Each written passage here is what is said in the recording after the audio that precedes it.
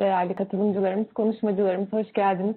Hepinize güzel bir gün diliyorum. Umuyorum siz sevdikleriniz sağlıklı ve iyisinizdir. Bu hafta Uluslararası Suistimal Farkındalık Haftası. Suistimallerin şirketler için olduğu kadar toplum üzerinde de etkilerinin olumsuzluğu aşikar. Biz de teyit olarak aslında tüm yıl bu uğurda faaliyetlerimizi sürdürüyoruz ama özellikle bu hafta başından beri çeşitli sosyal medya paylaşımları, blog yazıları, şu anda katıldığınız etkinlik ve geçtiğimiz salı günü gerçekleştirdiğimiz webinarımızla da e, farkındalık çalışmalarına destek vermeye devam ediyoruz. Bugün sizlerin de anketimize değerli katkılarıyla ortaya çıkan KPMG Türkiye TEİT işbirliğiyle hazırlanan bir suistimalcinin profili anket raporumuzu sizlerle paylaşacağız ve hemen akabinde de birbirinden değerli konuşmacılarımız, değerli moderatörümüz Sinan Bey eşliğinde bizlerle birlikte olacak. Kısa bir bilgi vermek istiyorum her zamanki gibi. E, sesleriniz kapalı olacağından katılımcılarımızın bize chat bölümünden sorularınızı, istek ve önerilerinizi iletebilirsiniz. E, süremiz kısıtlı, içeriğimiz zengin. Dolayısıyla vaktinizi çok almadan sözü Oydun Bey'e veriyorum ve size keyif alacağınız ve e, faydalanacağınız bir etkinlik diliyorum. Tekrar hoş geldiniz. Çok teşekkürler Neslihan Hanım. Ee, ben de Neslihan Hanım'la aynı dilekleri paylaşıyorum. Umarım herkes için e, sağlıklı günler gerçekleşiyordur. Bu zor günlerde hepimiz ayakta durmaya çalışıyoruz. E, işin açıkçası ben e, biraz e, çok kısa tutarak tabii ki KPMG ile e, TEİD'in ortaklaşmasından, daha doğrusu TEİD'in böyle bir şeye imkan sağlamasından bahsetmek istiyorum. E, geçtiğimiz zamanlarda da e, güzel çalışmalara, beraberce güzel çalışmalara adım attığımızı, bir takım çalışmalarda TEİD'e katkıda bulunabildiğimizi düşünüyorum. İşte geçen yıl yapılan etik ve uyum Türkiye değerlendirmesi, gelecek sene revize etmeyi planladığımız bu çalışma, yine içerisine katkılarımızın olduğu ve iç soruşturmalar rehberi gibi çalışmalar. Bu anket çalışması ki keza ilerideki çalışmalar da çok önemli. Burada ben TEİ'de gerçekten çok teşekkür etmek istiyorum. Çünkü bu tarz derneklerin e, en büyük karşılaştığı problem e, iş dünyasına nüfuz etmektir. Ama Teyit bence bunu çok büyük bir başarıyla gerçekleştiriyor ve ger yaptığı çalışmaları e, iş dünyasında olan bizlerin hayatına bir şekilde dokunduruyor. E, iş soruş e, bugünkü işte bir e, suistimalcinin profili çalışması da aslında suistimali gerçekleştirenler e, ve bunun mağduru olan şirketler açısından e, durumun gerçekleşen vakalar üzerinden tekrar bir değerlendirilmesini e, amaçlayan bir anket çalışması. Umarım e, buradan herkesin çıkaracağı kendine özel noktalar olur ve bir takım öngörüleri de bulunmasında da e, iş dünyasında olan bizlere bir faydası olur diyerek sözü Sinan Bey'e veriyorum. Umarım herkesin keyif alacağı ve faydalı bir dinleti olur. Çok teşekkürler. E, sunuma başlamadan önce e, ben de tabii ki hepinize katılımınızdan dolayı çok teşekkür etmek istiyorum. E, umarım e, faydalı bir sunum e, olacaktır. Kısa bir süre sonra da zaten e, raporunu da sizlerle yine e, paylaşıyor olacağız. E, kısaca kendimi tanıtmak e, gerekirse e, Bilkent Üniversitesi e, Bankacılık Finans Bölümü e, mezunuyum. Daha önce Tekstil Bank'ta ve Citibank'ta e, teftiş kurulunda e, görev aldım. E, ve sonrasında kısa bir reel sektör tecrübesinden sonra Deloitte'da yine e, forensik ekibinde e, çalıştım ve hala forensik ekibinde KPMG'de e, direktör olarak çalışmaktayım. E, diyerek kendimi tanıttıktan sonra e, sunumla ilerleyeyim. Şimdi e, tabii e, konuya girmeden önce bir de aslında suistimalin ne olduğunu kısaca e, ben anlatmak istiyorum e, izninizle.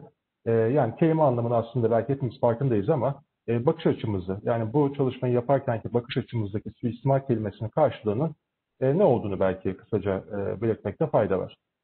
E, görev ve yetkilerin kanunsuz ya da adil olmayan bir şekilde kazanç sağlamak için kötüye kullanılması olarak da tanımlayabileceğimiz e, suistimaller, e, tabii daha basitçe ifade edecek olursak, e, kişinin işveren kuruluşu dolandırdığı eylemler olarak e, adlandırabileceğimiz aslında eylemlerdir. Dolayısıyla e, yapısı gereği her türlü suistimal işletme faaliyetlerini yürütmek için e, bireyler istihdam eden kuruluşlar için bir tehdittir.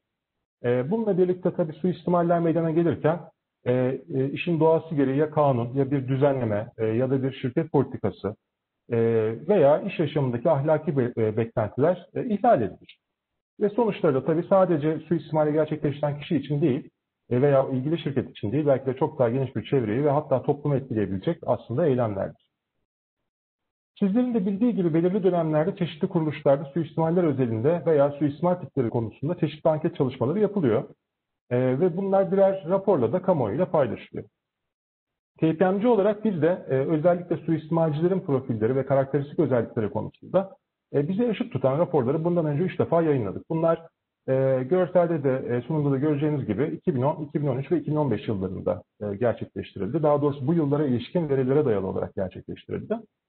E, ve her çalışmada bir önceki dönemle karşılaştırmalı sonuçlara da e, yer verilen çalışmalardı. Son yapılan e, 2016 yılında e, tüm dünyada farklı dillerde yayınlanan e, raporumuzda e, açıkçası döneminde oldukça ses getirdi ve e, o dönemden bugüne kadar da birçok paylaşımımızdan e, bu raporun yenisinin yayınlanıp yayınlanmayacağı konusunda sıklıkla sorular alıyorduk. Bu nedenle bu sene e, TEİK ile birlikte KPMG e, Türkiye olarak bir inisiyatif aldık ve e, Türkiye'deki suistimalcilerin profilini analiz etmek istedik. E, çünkü e, KPMG e, son 4 yıldır hani böyle bir çalışmayı global olarak gerçekleştirmedi ve aslında bu bir e, özel bir inisiyatifte TEİK'in de desteğiyle gerçekleştirdiğimiz. Her ne kadar tabii bu çalışmada e, sadece Türkiye verilerine dayansak da e, bu analizde geçmişte yayınlanan çalışmalarla birçok konuyu karşılaştırma fırsatımız da e, oluyor. E, bugün de sunumda yine kısaca ben bahsetmeye çalışacağım. Ve bununla birlikte tabii yine TEİK'le birlikte geçtiğimiz yılda e, yayınladığımız e, etik ve uyum Türkiye değerlendirmesi çalışmamızda da yer verdiğimiz bazı sonuçları e, bir yıl sonra yine değerlendirme imkanı yakalamış olduk. Ve tabii bu vasıtayla da mevcut verileri de geçtiğimiz yıllarla karşılaştırma imkanını yakaladık. Ee, tabii bu konunun önemi ve doğru kişi, bu konunun önemi e, gereği doğru kişilerden doğru ve anlamlı cevapların alınmasını e, gerekiyor. E, dolayısıyla sonuçların da sıratı için bu son derece önemli bir konu. Dolayısıyla bu sebeple TEİK ve KPMG tarafından ortaklaşa ve son derece titiz bir çalışmayla seçtiğimiz ve Türkiye'nin öncü firmalarına ve bu firmalarda çalışan kişilere gönderdiğimiz bir anket gerçekleşti.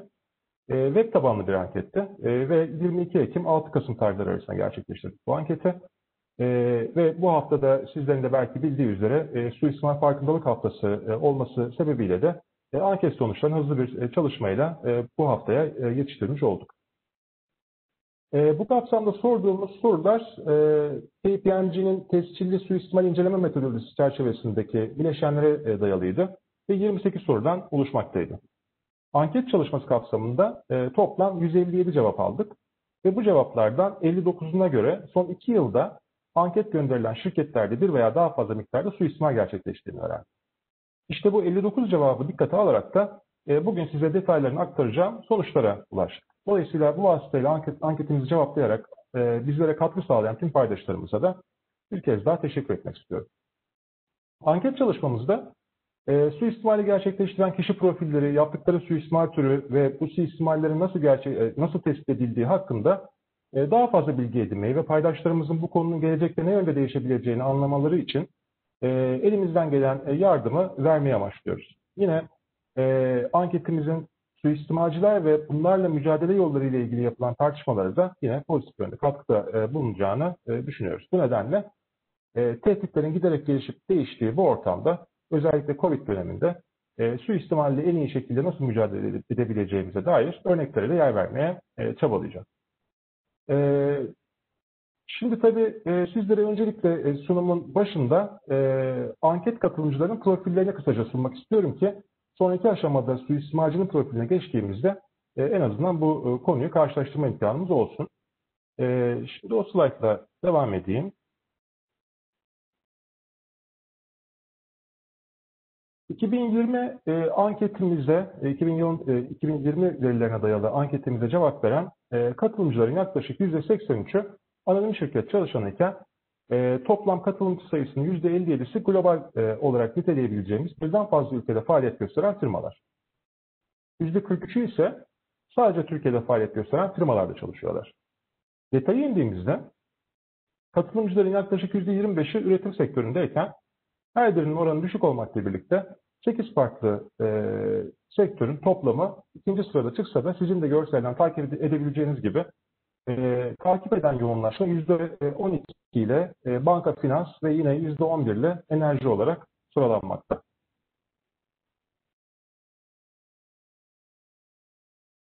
Bir önceki slaytta gösterdiğim gibi e, ankete katılan şirketlerin çoğunluğu global şirketler. E, ve katılan global şirketlerin çoğunluğunda çalışan sayısının 100 ile 10 bin arasında olduğunu, lokal şirketlerin ise 100 ile 1000 çalışan sayısında yoğunlaştığını görüyoruz. Şimdi anket detaylarıyla ilerlemeye çalışayım.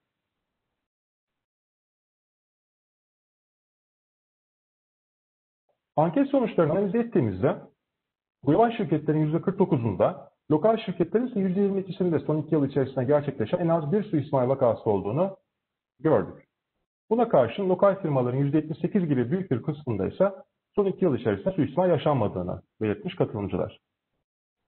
E, suistimallerle karşılaştığını söyleyen katılımcılardan çok uluslu firmalarda çalışanların %75'i, lokal firmalarda çalışanlardan ise %80'i 1-5 adet arasında suistimalle karşılaşırken 6-10 adet suistimal görülen firmalar neredeyse aynı yüzdelere sahip.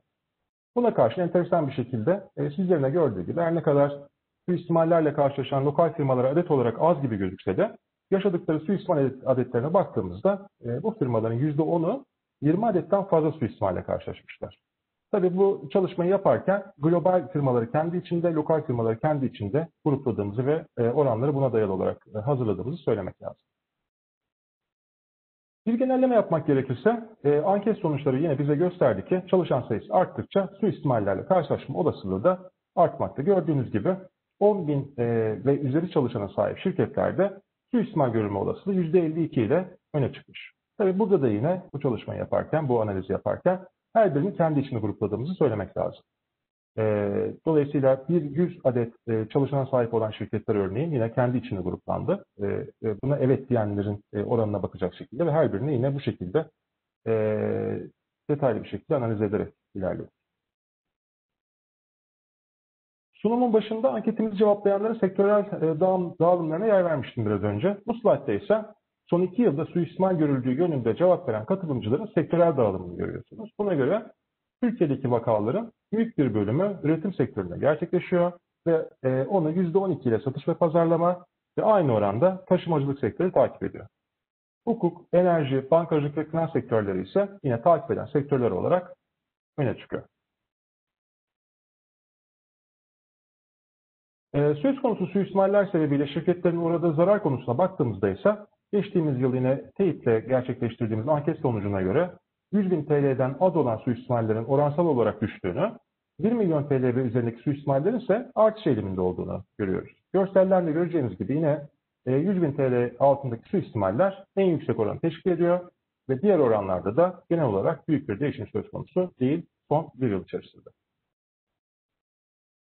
Ee, peki son iki yılda şirketlerde ne yaşandı? Buna baktığımızda ise suistimallerin e, hangi alanlarda gerçekleştirildiği konusunu tabii analiz etmeye çalıştık. E, buna göre sıklık bakımından en çok karşılaşılan suistimal tipinin varlıkların kötüye kullanılması ve zimmet ya da şahsi menfaat olduğunu e, gördük. Üçüncü sırada ise %43'te satın alma suistimalleri gelmekte.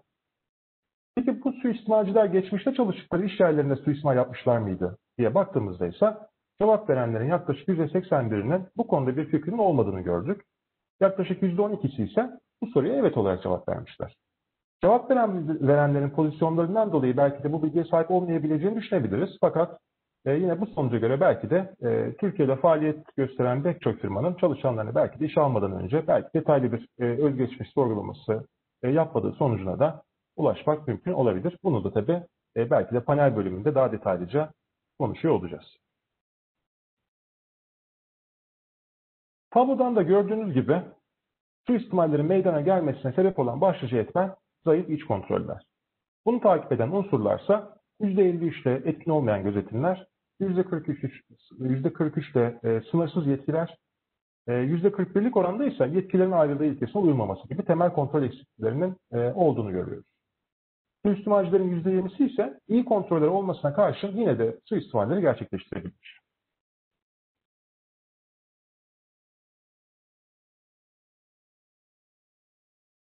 Suistimallerin ne şekilde tespit edildiğine e, baktığımızda ise 2020 yılı sonuçlarına göre ilk sırada yönetim incelemesi gelmekte. İkinci sırada %36 ile iç denetim, %29'da ihbar hatları, %24 ise resmi olmayan bildirim kanallarının e, olduğunu görüyoruz. Bu oranlar 2016 yılı raporundan farklılık gösteriyor. Şöyle ki 2016 yılı sonuçlarına baktığımızda ilk sırada resmi olmayan bildirimler, ikinci sırada yönetim incelemesi ve üçüncü sırada resmi ihbar mekanizması gelmekteydi. İç denetim ise %14'te beşinci sırayı tesadüfen tespit edilen suistimallerle paylaşmaktaydı. Tespit edilen suistimallerin kim tarafından incelendiğini sorduğumuzda ise katılımcıların %58'e yakın bir oranda İç Denetim Departmanı'nın e, bu görevi e, aldığını söylediğini e, gördük.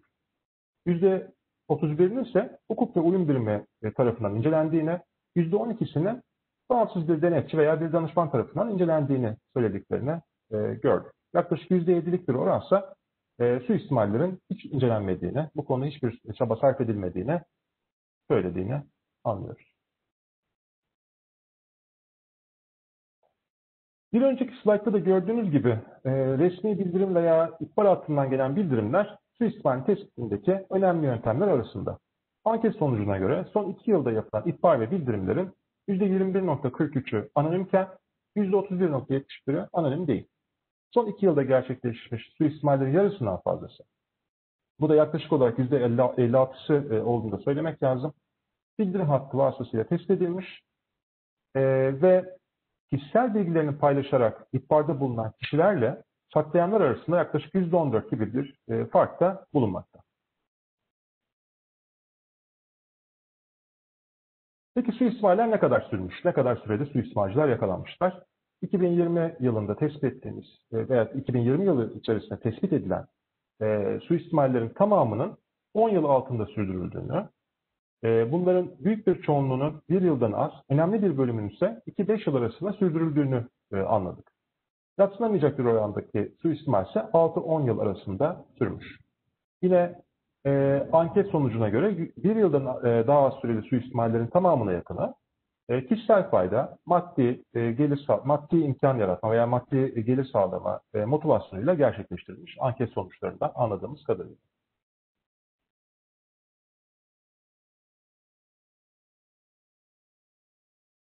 E, anket sonuçlarına baktığımızda yine suistimalin gerçekleştirilmesi e, için en güçlü motivasyonun her iki raporda da yine kişisel fayda sağlama olduğunu görmekteyiz. 2016 yılında ve 2020 yılında. Her ne kadar bu motivasyonlar arasında önemli ölçüde fark varsa da suistimalcilerin uygun koşullar bir araya geldiği noktalarda sadece yapabileceklerinin farkına varmalarıyla suistimali yeltendiklerini de söylemek yine mümkün. Anketimize göre suçlular suistimali gerçekleştirirken büyük oranda diğer kişilerin yardımını almışlar. Bu işbirliklerinin yaklaşık %19'u sadece şirket içinden, yaklaşık %16'sı hem şirket içi hem de şirket dışı yardımıyla yapılmış. %19'u ise dışarıdan kişilerle işbirliği kurularak gerçekleştirilmiş.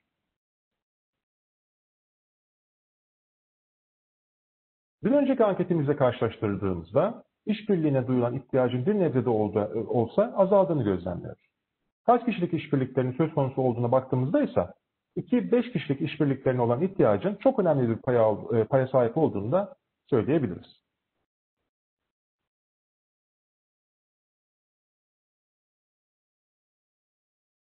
Peki suistimallerde teknoloji ne şekilde kullanıldı? Buna baktığımızda gördüğünüz gibi teknoloji olmadan da söz konusu suistimallerin gerçekleştirilebileceğini söyleyenlerin oranı %26'dan %49'a yükselirken Buna paralel şekilde suistimallerin teknoloji olmadan gerçekleştirilemeyeceğini söyleyenlerin oranı da %16'da %6'ya düşmüş. Her iki dönemde de teknoloji bir ölçüde suistimali gerçekleştirmek için kullanılsa da anket sonuçlarına göre genelde bir, e, bu e, bir zorunluluk değildi. Teknoloji hiç kullanmadan da gerçekleştirenler de var ve bu oranda %47'den %39'a düşmüş.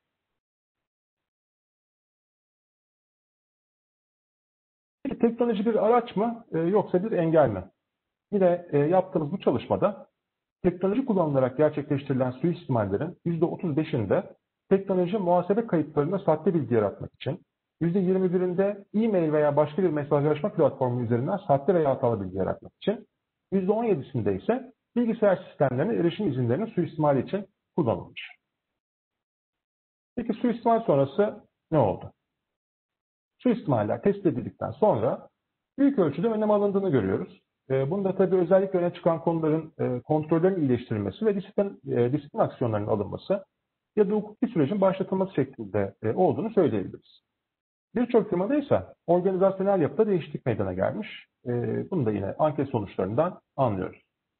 Tabii ek olarak firmaların yaklaşık %20'sinde maddi zarar hiçbir şekilde tahsis edilmediğini, aynı orandaki diğer şirketlerde ise kısmi tahsilat sağlanabildiğini, tamamını tahsis eden e, şirketlerin oranının ise yaklaşık %10 olduğunu yine görmekteyiz. Eğitim programı geliştiren birçok firma olduğunu yine anlıyoruz. E, ek olarak teknoloji yatırım yapan, ihbar mekanizması kuran veya denetçi, suistimal inceleme uzmanı gibi e, çeşitli kişileri, uzmanları e, istihdam eden, e, bunlara yatırım yapan firmaların da yine azımsanmayacak e, e, derecede ve oranda olduğunu da yine söyleyebiliriz. E, suistimalciler kaç yaşında ve cinsi, e, cinsiyetlerine ne gibi karakteristik özelliklere sahipler onunla devam edelim. Bunda da yine gördüğünüz gibi 2016 yılında yayınlanan sonuçlara baktığımızda suistimalcilerin %79'u erkek, %17'si ise kadındı. E, bu yılki anketimizde gördüğümüz kadarıyla erkek sayısı %92, kadın sayısı ise %8 olarak cevaplanmış. 2016 anketine göre suistimalcilerin %69'u 36-55 yaş arası kişiler, %14'ü 26-35 yaş grubunda, %8'i 55 yaş ve üzeri ve %1'i ise 18-25 yaşları arasındaydı. Bu yılki raporumuzda gördüğümüz kadarıyla %66'sı 36-55 yaş arası kişiler, %23'ü 26-35 yaş arası, %6'sı 18-25 yaş arası, %4'ü ise 55 yaş üzeri kişilerden oluşmakta. Dolayısıyla 26-35 yaş arasındaki ve 55 yaş üzerindeki suistimalcilerde geçmiş döneme kıyasla bir artış olduğunu da söylemek mümkün. Pozisyonlarına baktığımızda bir önceki raporla kıyaslarsak yönetici olmayan personelin gerçekleştirdiği suistimallerde bir artış olduğunu gözlemliyoruz. Bu oran %20'den %49'a yükseldi. Diğer oranlarda sıralama olarak büyük farklılık olmadığını da yine söylemek mümkün. Bir önceki raporda suistimallerin gerçekleştirilmesi için yetki sahibi olan kişilere ihtiyaç varken mevcut anketimizde yetki sahibi olunmadan da birçok suistimale sebebiyet verilebildiğini anlıyoruz.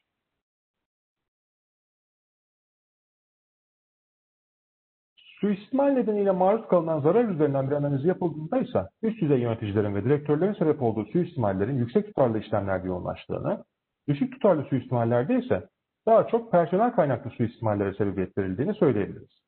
Detaylıca bakacak olursak, 100 bin TL altında ve 100 bin ile 500 bin TL arasında personel, 500 bin ile 1 milyon TL arasında personel ve yönetici neredeyse aynı oranda, 1 milyon ile 5 milyon arasında müdür ve yönetici ağırlıklı, 5 milyon üzerinde ise üst düzey yöneticiler tarafından suistimal gerçekleştirildiğini anlıyoruz.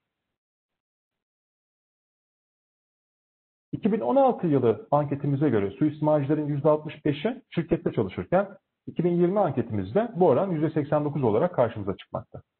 KPMG Global tarafından gerçekleştirilen çalışmaya göre suistimalcilerin %21'i eski çalışanken bu sayı Türkiye'de %6 seviyesinde. Diğer yandan 2016 anketine göre suistimalcilerin %14'ü şirket dışından kişilerken bu oran güncel anketimizde %4'te sınırlı. Mağdur şirkette çalışma süresine baktığımızda ise 5 yıldan fazla çalışanların çoğunluğu oluşturduğunu, oluşturduğunu söyleyebiliriz. 1-4 yıl arasındaki e, oran %44 ve bu oranda bir önceki raporda e, 7 üzeri ve 1-6 yıl arasındaydı. Dolayısıyla 1-4 yıl arasında bir artış olduğunu da yine söylemek mümkün.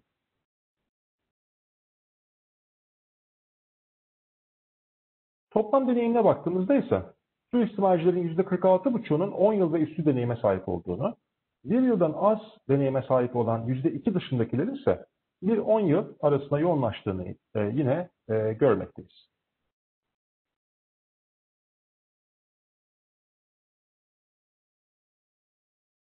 Bu kişilerin karakteristik özelliklerine sorduğumuzda anket katılımcıları bu kişilerin yani suistimalcilerin çoğunun %47'sinin arkadaş canlısı olduğunu söylediklerini söyleyebiliriz. %40'ı ikna yeteneğine sahiplermiş.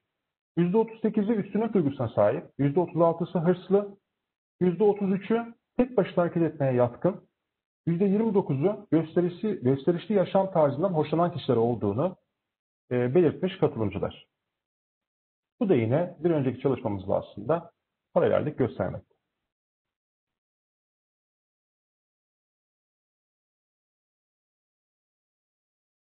Peki e, suistimal Nin, e, yani suistimallerin gerçekleşmesi için e, ne yapılmalı? Bununla nasıl mücadele etmeliyiz? E, bunu da yine kısaca e, değerlendirmeye çalış, e, çalışalım bizlerle birlikte. Tabii öncelikli olarak tetikte olmak gerekli. İş dünyası sürekli büyüyor ve suistimalciler de sürekli olarak sistemi kötüye kullanmak için e, yapılan değişikliklerden e, faydalanmaya çalışıyorlar. Yeni gelişen e, suistimal risklerine karşı en etkili savunma mekanizmalarından birisi de e, tüm şirketi kapsayan bir e, risk değerlendirme süreci kapsamında düzenli olarak suistimal risk değerlendirmelerinin yapılması. Bunun dışında tabii e, şirketler suistimal olduğunda sadece kendi işlerine odaklanmamalı. İş ortaklarını e, ve kendileri adına iş yapan üçüncü tarafları da yakından gözetim altında tutmalılar. Yine şirketler tabii dünya genelinde yayıldıkça kendileri adına distribütör, satış acentesi, e, yerel ülke temsilcisi olarak hareket eden üçüncü taraflarla da daha fazla çalışmaya başlıyorlar. Tabii bu tür bir üçüncü tarafla çalışmaya başlamadan önce de e, risk temelli bir durum tespiti yapmak hem bir e, en iyi uygulama niteliğinde e, hem de e, pek çok uyum programlarında tabii ki temelini oluşturmakta. Ve tabii unutulmaması gerekir ki suistimalciler hata yapabilir. Ee, çalışanları şirketin yardım hattı gibi raporlama mekanizmalarını kullanmaları için cesaretlendirmek gerekir e, bu kapsamda. Ve eğitim almaları tabii ki mutlaka farkındalık eğitimlerinin e, şirket bünyesinde verilmesi son derece önemli. E, bunun dışında personelin olumsuz bir konuyla karşılaştığında işleri için yani işlerini kaybetmekten korkmayacakları bir güven ortamı yaratılması da yine son derece önemli ki bu vasıtayla çalışanlar e, oluşturulacak ihbar mekanizmasını veya yardım hatlarını daha fazla kullansınlar ve bu vasıtayla da e, suistimallerin tespit edilme e, olasılığı e, artsın. Teknoloji kullanımı çok önemli tabii sizlerin de tahmin edebileceği gibi. E, anketimiz çok sayıda suistimalcinin suistimal girişiminde bulunmak amacıyla teknolojiden faydalandığını e, göstermekte. E, şirketlerin tabii dikkatli bir fayda maliyet analizi yaparak e, suistimalle mücadeleye yönelik analitik çözümler benimsemesinde önerebiliriz. Yani e, ateş ateşle karşılık vermek gibi düşünebiliriz bunu. Dolayısıyla teknoloji kullanımı e, ne kadar, her ne kadar suistimal e, e, gerçekleştirmek için kullanılsa da aynı zamanda suistimal tespiti için de yine e, mücadele anlamında teknoloji kullanımı e, son derece önemli diyebiliriz.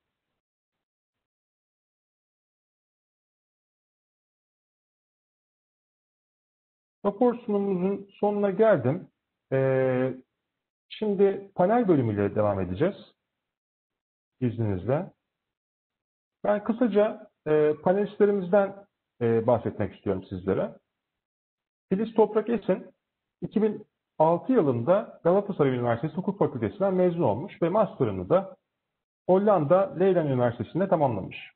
Mezuniyetinden beri Güven Partners'ta çalışmakta ve e, büronun ticari suçlar ve yolsuzlukla mücadele, rekabet, e, rekabet ve şirketler birleşme, devralmalar e, gibi konulardan sorumlu bir şirket e, ortak avukatı olarak çalışmakta.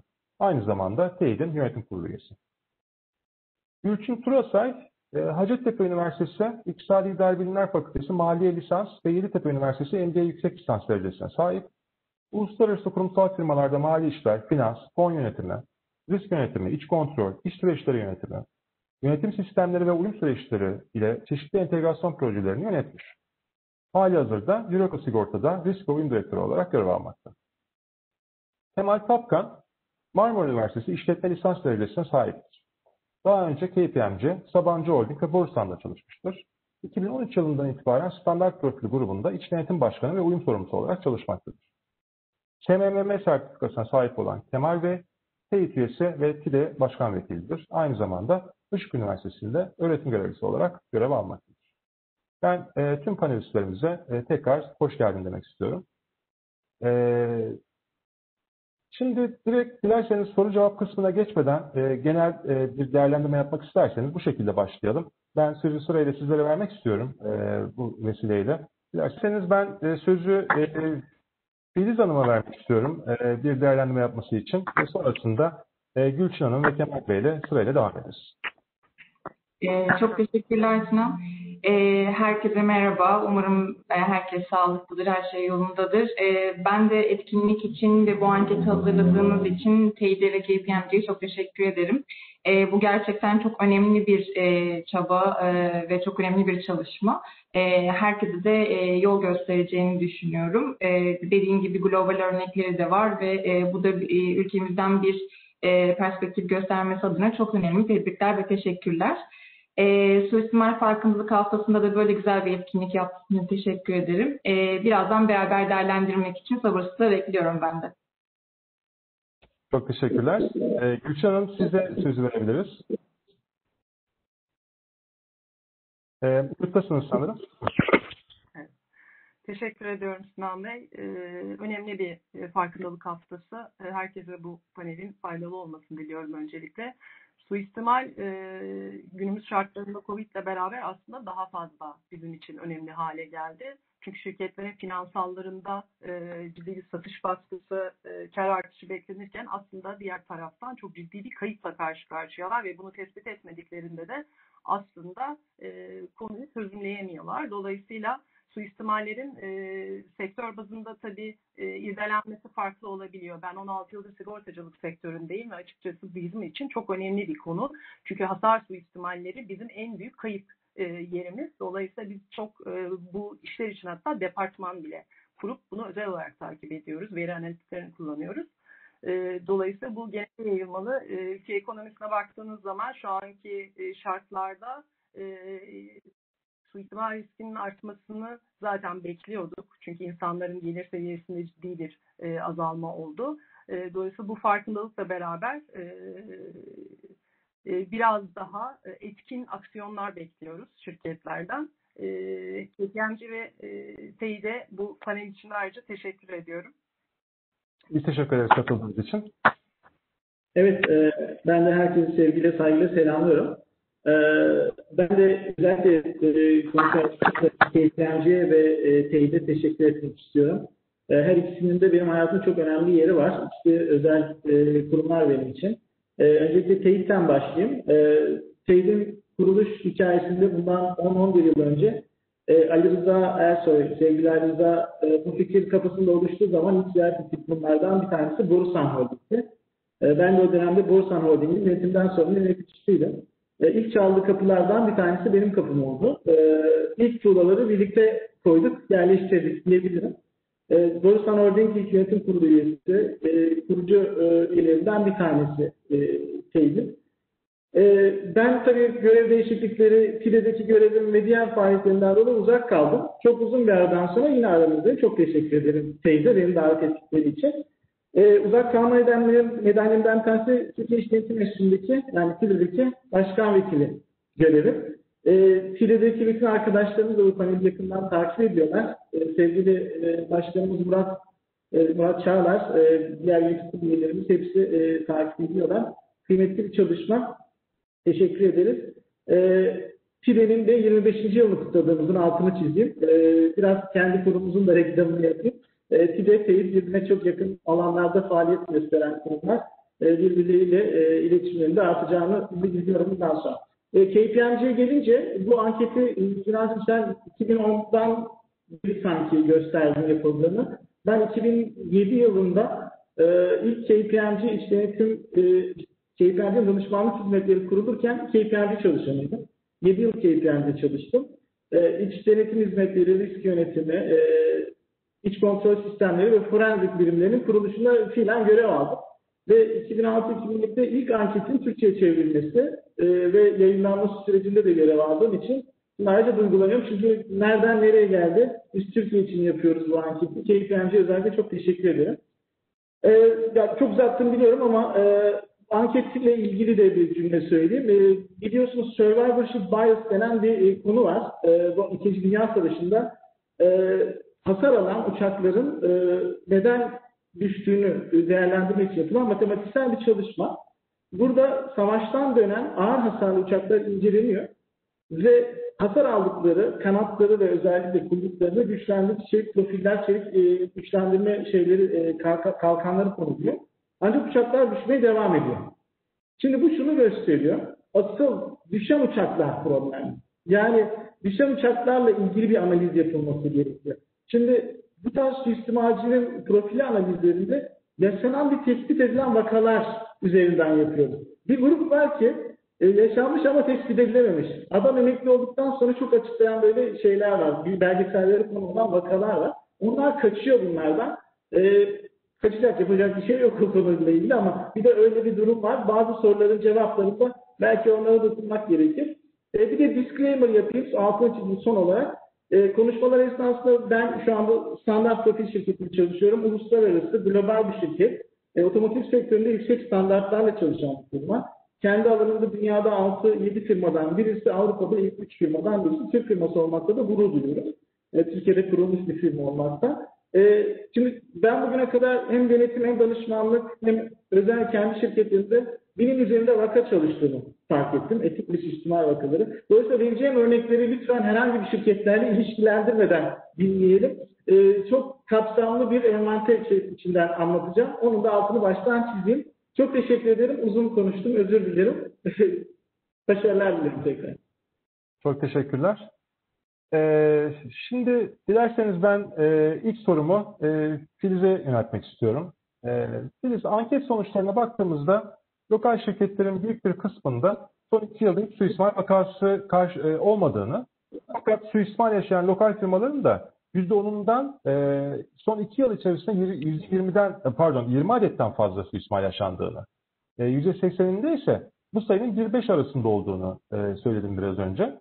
E, şimdi lokal ile global firmalar arasındaki bu büyük farklılık e, ve e, suistimal görülen lokal firmalardaki adresler dağılımının bu denli dikkat çekici olmasını neye bağlarsın? Yorum alabilir miyiz senden?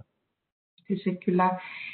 Ee, yani aslında ankete katılan e, katılımcılarımızın profillerine baktığımız zaman e, bir denge var. Yani %57'si global, %43'ün lokal firmalardan geldiğini görüyoruz.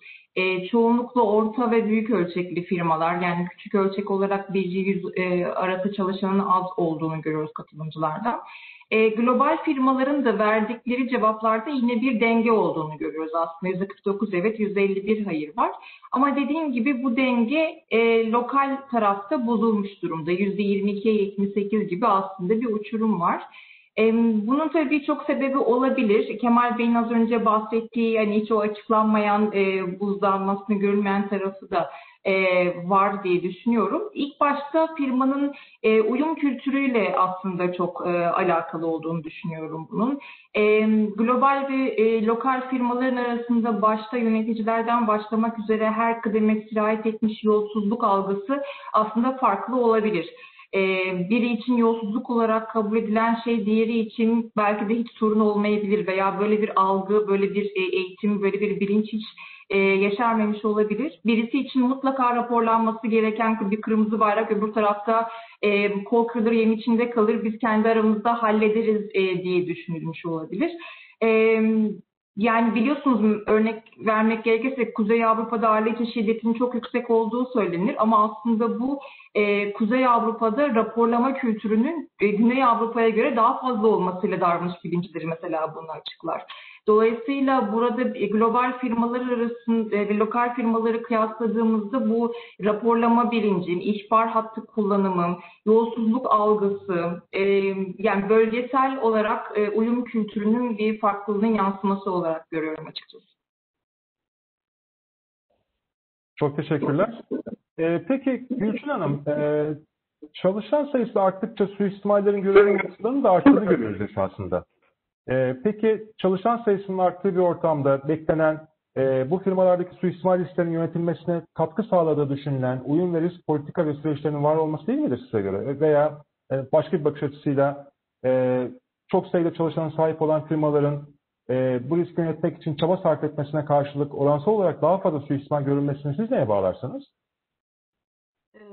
Evet aslında beklenen çalışan sayısı arttıkça firmalar büyüdükçe e, kurumsal veya daha kurumsal yapıya e, ulaştıkça uyum ve risk politikalarının var olması doğru. Hı hı. E, peki bu politikalar varken niye bu kadar da e, suistimal görülüyor? Cevabın içerisinde aslında pek çok etken var. Firmalar büyüdükçe süreçler, görev tanımları, rol ve sorumluluklar daha küçük yapılara oranla daha da karmaşıklaşabiliyor e, onay mekanizmaları uzayabiliyor. Özellikle süreli işlerde hızlı çözüme ulaşabilmek için bazen yeterince inceleme yapılmadan süreç sonlanıyor. Dolayısıyla ben burada e, globalde de geçerli olan GRC tanımının e, önemli olduğu yani Global Risk e, Governance Risk and Compliance tanımının aslında baktığınız zaman e, önemli olduğunu düşünüyorum. Kurumsal yönetimin e, yeterince entegre edilmediği e, global ya da büyük firmalarda dahi bu suistimaller e, görülüyor. Diğer taraftan e, risk ve uyum politikaları e, iş birimleri tarafından benimsenmiyor. Bunlar iş yapış şekillerine adapte edilmiyor. E, süreçleri yönetmelerinde üstlenecekleri risklerin gerek yasal gerek stratejik açıdan minimize eden politikalar olarak değil de daha çok iş yapışlarını engelleyici birer politika olarak algılanabiliyor. Dolayısıyla burada iş birimlerine bu farkındalığı arttıracak bilgilendirmeler, eğitimler verilmesi, etik suistimal çıkar çatışması gibi kavramların iyi anlatılması gerekiyor. E, bir diğer konuda e, risk ve uyum departmanlarının tabii yeterince iyi yapılandırılmış olması gerekiyor. Çünkü kontrollerin işlerliği ve etkinliği yeterince değerlendirilmez ise de düzenli takip edilmez ve raporlanmazsa da benzer sorunlar yaşanabiliyor. Ee, diğer taraftan suistimal yönetim kademesinde gerçekleştiğinde tabii ki o zaman ne iş birimlerinin ne de risk oyun departmanlarının etki ve kontrol alanında olmadığından çok da kolay tespit edilemiyor. Burada da e, taneti tap dediğimiz aslında o tepedeki mesajı iyi okumak gerekiyor. E, dolayısıyla hani politikaların var olması kontrolleri e, gerçekten e, efektif kılmayabiliyor. Bunların iyi e, entegre edilmesi ve anlaşılması gerekiyor. Çok teşekkürler cevabınız için. Ee, diğer sorumu ben Kemal Bey'e yöneltmek istiyorum. Ee, Kemal Bey, suistimalcilerin bir bölümünün e, geçmişte çalıştıkları iş yerlerinde de suistimallere karışmış olduklarını anlıyoruz. E, bunun temelinde e, ne gibi etmenler yatıyor olabilir size göre? Şimdi bu, bu sorunun cevabını vermeden önce e, sen bu e, anketin bu sorusunu sunarken şey dedin, e, yanlış duymadıysam. E, çalışanların özgeçmiş istihbarat çalışmaları yapılmamış olabilir gibi bir ifade kullandı. Evet, gönül ister ki özgeçmiş istihbarat çalışmaları yapalım. Referans kontrollerini eksiksiz yapalım. Hatta referans yazılmayan kişileri de e, arayalım, soralım ama şimdi günümüzde avukat arkadaşlarımız var, uyum sorumlularımız var. Benden daha iyi bilirler.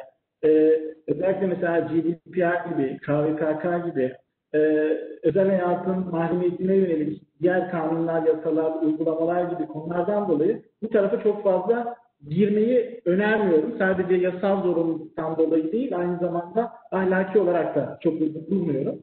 Ee, hani bak yapabileceğimiz şey e, işte adli sicil kayıtlarından değerlendirmek. Ee, zaten bu anket sorusunun cevabı %81 oranında bilmiyorum çıkmış. Yani e, daha önce yaşayıp yaşamadıklarını bilmiyoruz, yorum yapmamışız. Ee, bir kısmında da yapmış oldukları ortaya çıkmış. Ee, şimdi ikinci taraftan, ikinci açıdan baktığımda e, adli sicil kayıtlarında da görülmüyor. Çünkü çoğu şirket e, sistemali tespit ettikten sonra yaklaşım olarak e, biraz itibar kaygısından dolayı e, şey yapıyorlar. Yani bunu e, yasal süreçlere götürmeye çalış, götürmemeye çalışıyorlar. Bundan imtina ediyorlar. E, bu bence yanlış bir uygulama. Yani biz de siz de e, diğer danışman firmalar da aynı şekilde e, kurumda aslında bir suistimal yaşandıktan sonra e, bunun kök nedenleri neydi? E, ondan sonra ne gibi iyileştirme faaliyetleri yapılmalı? E, bunun etkileri ne? Etkiler nasıl giderilebilir? Mesela müşterinin bir etki varsa biz etik değerlerimize göre müşteriyi de bilgilendirmeli. Bakın hani böyle bir şey yaşandı. Tam tersi olumlu etki yaratacağını düşünüyorum. Ee, ama şirketler çoğu zaman suistimal yapan kişiyle hani bunu kapatalım. Ee, sen mümkün olursa bir zarar tazmin et. Ee, ondan sonra da işten ayrıl gibi bir yöntem suçlar. Bu doğru bir şey değil. Bu önerdiğimiz bir yöntem değil. Hatta bazen sohbet ederken konuşuyoruz. Bazı şirketler suistimal yakaladıkları zaman e, ya bu adam çok faydalı bir adam. Yani performansı çok güzel. Hani boş verin ya bunu geçelim dedikleri bile e, oluyor yani. Bu dediğim gibi önceki deneyimlerimde çok karşıma çıkan e, denetim tarafında özellikle gördüğüm e, uygulamalar. Bunlar kesinlikle olmamalı. E, tam tersi e, yasal süreçler neyse işletilmesi gerektiğine ben bundan inanan birisiyim. E, biraz da tabii bunların fark edilmeme sebebi firmaların e, bu itibar kaybından dolayı, kaybı endişesinden dolayı yasal süreçlere başvurmamaları. E, ben bir vaka yaşadım e, önceki çalıştığım şirketlerden bir tanesinde. E, müşteri şey tedarikçimiz geldi bizi aradı. Dedi ki tedarikçimizin işte yönetim başkanı beni arıyor. Dedi ki kurumda bir suistimal yaşadık. E, bu suistimal nedeniyle üç tane yöneticimizin iş hakkını test ettik. E, müşterilerle yaptığımız bazı işlemlerden kaynaklanıyor. Dolayısıyla siz de etkilenmiş olabilirsiniz. Bunu tesis etmeye çalışıyoruz. Bu benim nezdimde çok olumlu bir şey. Yani tam tersi o firmaya güvenimi artıracak bir şey. E, buna rağmen gelip bize bundan bahsettiler. Akabinde onlarla etik e, şeyler yaptık. E, workshoplar düzenledik. Onların etik gelişimine yönelik projeler yaptık. Dolayısıyla ben önemsiyorum bunu. Firmalar e, herhangi bir sistem testinde gerekli o önerilen süreci uygulamalar. Ee, ben aslında sizin cevabınıza istinaden Gülçin Hanım'a yönelmek istiyorum. Ee, Gülçin Hanım, e, peki sizin düşünceniz nedir bu konuyla ilgili? Yani e, örneğin e, şirket bünyesinde maruz kalınan riskin e, teşhis edilmesinden sonra size göre hukuki bir süreç işletilmeli mi, işletilmemeli mi? Veya Kemal Bey'in cevabında bahsettiği gibi örneğin bazı durumlar var ki e, bizim de hep sıklıkla karşılaştığımız e, suistimal şüphesi olan kişi eğer başarılı bir örneğin satışçıysa e, satışları iyi gidiyorsa işte incelenmemesi gibi e, veya başka sebeplerle işte ne diyelim bir şirket e, belki hissedarına yakınlığı sebebiyle veya yöneticisine yakınlığı sebebiyle sevilen kişi olması sebebiyle ki aslında suistimalcilerin de birçoğunun sevilen kişiler olduğunu da artık anlıyoruz e, anketten. E, bu kişi hakkında aksiyon alınmaması gibi durumlarla karşılaşıyoruz. Sizin düşünceleriniz nedir bu konuda? Ee, ben uyumda sıfır toleransçılardanım. Çünkü genellikle biliyorsunuz büyük şirketlerin örneklerinde CFO'ların genel gerekçeleri de şirkete bu kadar para kazandırdım. Tabii ki benim hakkımdır şeklinde oluyor. Dolayısıyla ben bu konuda tolerans gösterilmesi taraftarı değilim. Çünkü açıkçası kazanç ve kayıp analizi yapılacak bir durum değildir. Etik ve uyum yöneticisi olarak da bunu böyle değerlendirmiyorum. Çok teşekkürler. Peki e, kanun takibe geçip geçmeme ve itibar riski bunun karşılığında. Bu konuyu da e, Filiz'e e, yöneltmek istiyorum. E, biraz da hani e, karşılaştığı belki vakalardan e, yola çıkarak bir analiz yapmak isteyebilir. Ne dersin Filiz? Yani bir kişi tespit edildiği zaman birçok durumda biz karşılaşıyoruz. Yani firma itibar riskini ön planda tutuyor veya birçok durumda var ki örneğin firma hakkında ilgili suistimalcinin bildiği bazı açıklar oluyor. Ve o açıkları kullanarak e, firmanın kendi aleyhine bir işte e, süreç başlatmasının önüne geçmeye çabalıyor. E, bu konularla sen de mutlaka karşılaşmışsındır. Bizi biraz e, bilgilendirebilirsen çok seviniriz. Tabii. E, şimdi öncelikle bildiğiniz gibi bizim kanunumuzda suçu bildirmeme suçu diye bir kavram var e, suçu bildirmeme suçu hani bilmeyen arkadaşlarımız açısından hani biraz açmak gerekirse işlenmekte olan veya işlenmiş olmakla birlikte sonuçlarını sınırlama imkanı bulunan herhangi bir suçun yetkili makamlara bildirilmemesiyle oluşuyor. Yani eğer siz bir iç soruşturma yürütüyorsunuz ve bir e, hala işlenmeye devam etmekte olan veya etkile devam etmekte olan bir suçla karşı karşıyaysanız zaten yönetici olarak aslında şirket olarak bunu bildirmek yükümlülüğündesiniz. Bunun yoksa bir cezası var. Bir kere bunu bir ortaya koymak lazım.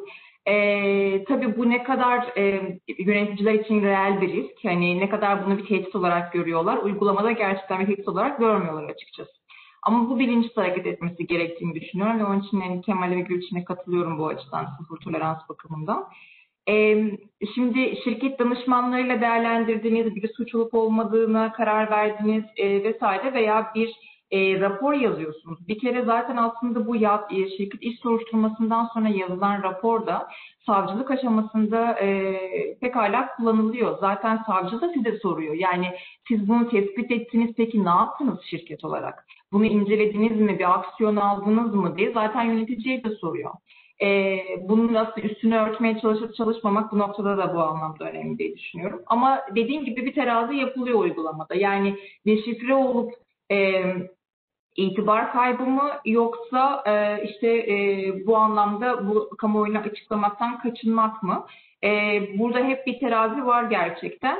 E, belki e, yöneticileri bu anlamda e, açıklamaya e, açıklamaktan uzaklaştıran etkilerden bir tanesi de aslında hukuki süreç başladığı zaman çok etkili ve etkin bir sürecin yönetilmemesi. Yani savcılık nezdinde aslında soruşturmanın çok etkin yönetildiğini ve daha sonra kovuşturma aşamasında bu işin cezalandırıldığını görsek belki de yani çoğunlukla. O zaman biraz daha e, yani atmış olduğumuz taş bir şeyi ürkütecek ve bir sonuca varacak diye belki düşünülebilir. Bu anlamda da bir e, yani cezaların da çok caydırıcı olmaması da ve e, zaten bir şey yapsam da bir işe yaramayacak gibi bir e, motivasyon kaybı da olabilir.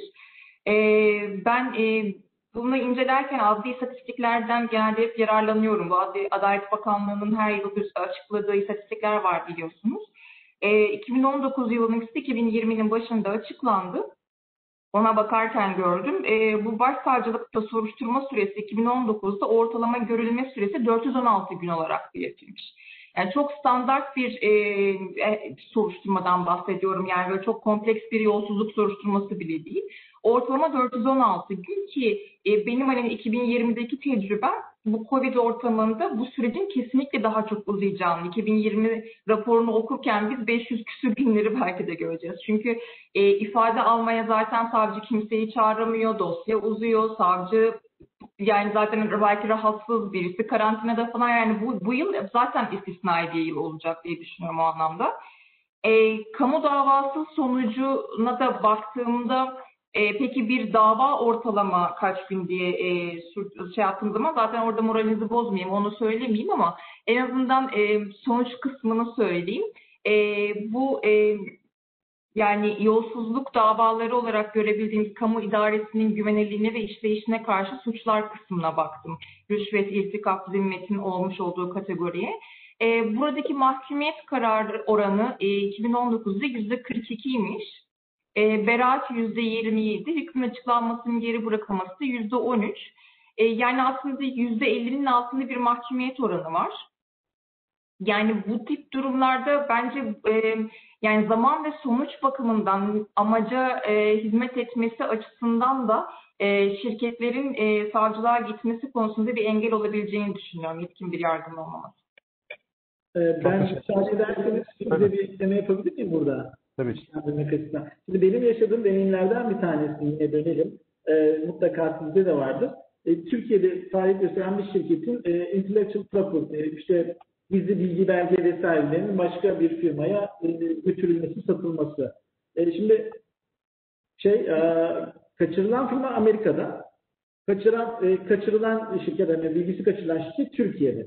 Şimdi biz bununla ilgili ne yapalım diye avukatlarımızla çalıştık zamanında. E, dediler ki Amerika'da hangi eyalete gidiyor? Eyaletlerin farklı yasaları var. Federal yasa farklı, doktrinleri farklı. E, dedik böyle böyle. E, şeyde e, Türkiye'de şimdi bir kere hocalarımız oturdu. Bir Türk şirketinin bilgisi yurt dışına çıkıyor. Hangi mahkemeden açalım davayı? Nasıl açalım? Nasıl dilekçeler hazırlayalım? Kanıtları ne yapalım? Vesaire. Türkiye'de böyle bir hani hazırlık sürecinde sıkıntı yaşıyoruz. Yurt dışında da bize dediler ki o eyaletin bir doktrini var. E, inevitable disclosure. Yani gittiğin şirket eşdeğer bir şirketse bırak bilgi belge götürmeyi kafanla gitsen bile gidemezsin. Yani siz kendin bile gidemezsin. Öyle bir doktrin var. Dolayısıyla biz bunu rahatlıkla çözeriz dediler. Ben inanmıyorum şimdi tabii böyle bir şeye. Ee, benden bilgileri topladılar. Kendi forensic investigation'larını kendi uzmanlarına yaptırdılar. Beni sorguladılar. E, e, tanıklarımı sorguladılar. E, bu Evet inandılar. Bu durum böyle. Tespit ettiler. Ve dediler ki bir ihtarnameyle biz bunu bitiririz. Hakikaten adamın gittiği şirkete bir ihtarname çekildi. Firma birdenbire ayağa kalksaydı böyle bir şey olmaz bizde. Ee, yani çok büyük bir suç. Ee, dolayısıyla hemen biz bu kişinin iş hakkını feshediyoruz. Senden herhangi bir şey almadım bugüne kadar. Ee, almayacağımı, senin ihalelerine girmeyeceğimi, şunu bunu taahhüt ediyorum. Üç ayda biz çözdük onu. Yani bir konu var, çok kritik bir konu. Ee, üç ayda Amerika'da biz bunu çözdük. Türkiye'de daha biz üç ayda hangi mahkemeye gidelim, nasıl gidelim, kimle gidelim, ne yapalım daha bunu kararlaştıramadık. Eminim hani e, eminim demeyeyim de e, iddialı olur. E, hani açmış olsaydık böyle bir davayı bir mahkemeden çok uğraşırdık, çok anlatmaya çalışırdık kendimizi. E, süreç uzardı da uzardı. Üç ayda biz son, kesin net sonucu elde ettik. Ve işi bitirdik. Türkiye'de de devam ettik. Sonra e, kişiyle uzlaşma yoluna gidildi. Çünkü kişi geldi, işte şeylerde bulundu. E, geri getirdi bilgileri, belgeleri, taahhütnameleri imzaladı vesaire. E, bunlar yaşanıyor yani. Bazen kıyaslama imkanımız oluyor. Allah sizlere kolaylık versin diyorum. Sıra bakmayın araya girdiğim için. Ee, çok teşekkürler. Hazır e, söz sizdeyken Kemal Bey size e, bir soruyu bir katılımcımızın Emre Bey'in, Emre Çolak'ın e, bir sorusu var. Onu yöneltmek istiyorum. E, soruya geçmeden yalnız bir e, slayttan yani sunumun bir parçasından da kısa bir e, alıntı yapayım tekrar. Emre Evet. sormuşsa zor bir sorudur. Bir- bir- Biraz zor ama e, inanıyorum ki çok e, güzel bir cevap alacağız sizden. E, şirketlerde e, suistimal ne şekilde tespit edildiğine baktığımızda daha doğrusu ihbar hatlarının e, gizliliğine mi güveniyorlar yoksa e, işte e, ihbar hatlarının güven ne durumda? Bunu sorduğumuzda aslında. E, cevaplar şöyleydi. E, alınan ihbarlar %21'i anonimdi. E, %36'sı anonim değildi. %31'i ise diğer yöntemlerle tespit edilmişti. Yani ihbar hatlarının kullanımında Türkiye'de bu şekilde bir oran var. Hatırlamak gerekirse. Şimdi Emre Bey'in sorusunda ise e, soru şu şekilde, biraz uzun bir soru ben çok kısa, kompakt bir şey- e, hale getirmeye çalıştım. Umarım doğru şekilde çevireceğim. E, etik hatların anonimliği mi önemli yoksa e, rapor sayısını arttırmak adına anonim tutmak mı önemli? E, yani e, belki sizin bugüne kadar karşılaştığınız deneyimlerden e, yola çıkarak e, mevcut şirketinize, geçmiş şirketlerinizde veya Türkiye'deki durumları, durum ve şartları düşündüğümüzde bu konuyu değerlendirebilir misiniz? Yani anonim mi tutalım, ihbar hattı olsun mu? İşte hatta şu bile bir düşünce, işte outsource mu edilsin, in-house mu olsun, e, güvenliğini nasıl sağlayalım? Bu konuları belki genel olarak değerlendirebiliriz sizinle. Şimdi ben bu konuyu şeyle birleştirebilir miyim? Yani ihbarın nasıl yapıldığı veya kim tarafından tespit edildiği konusuyla bir birleştirelim isterseniz.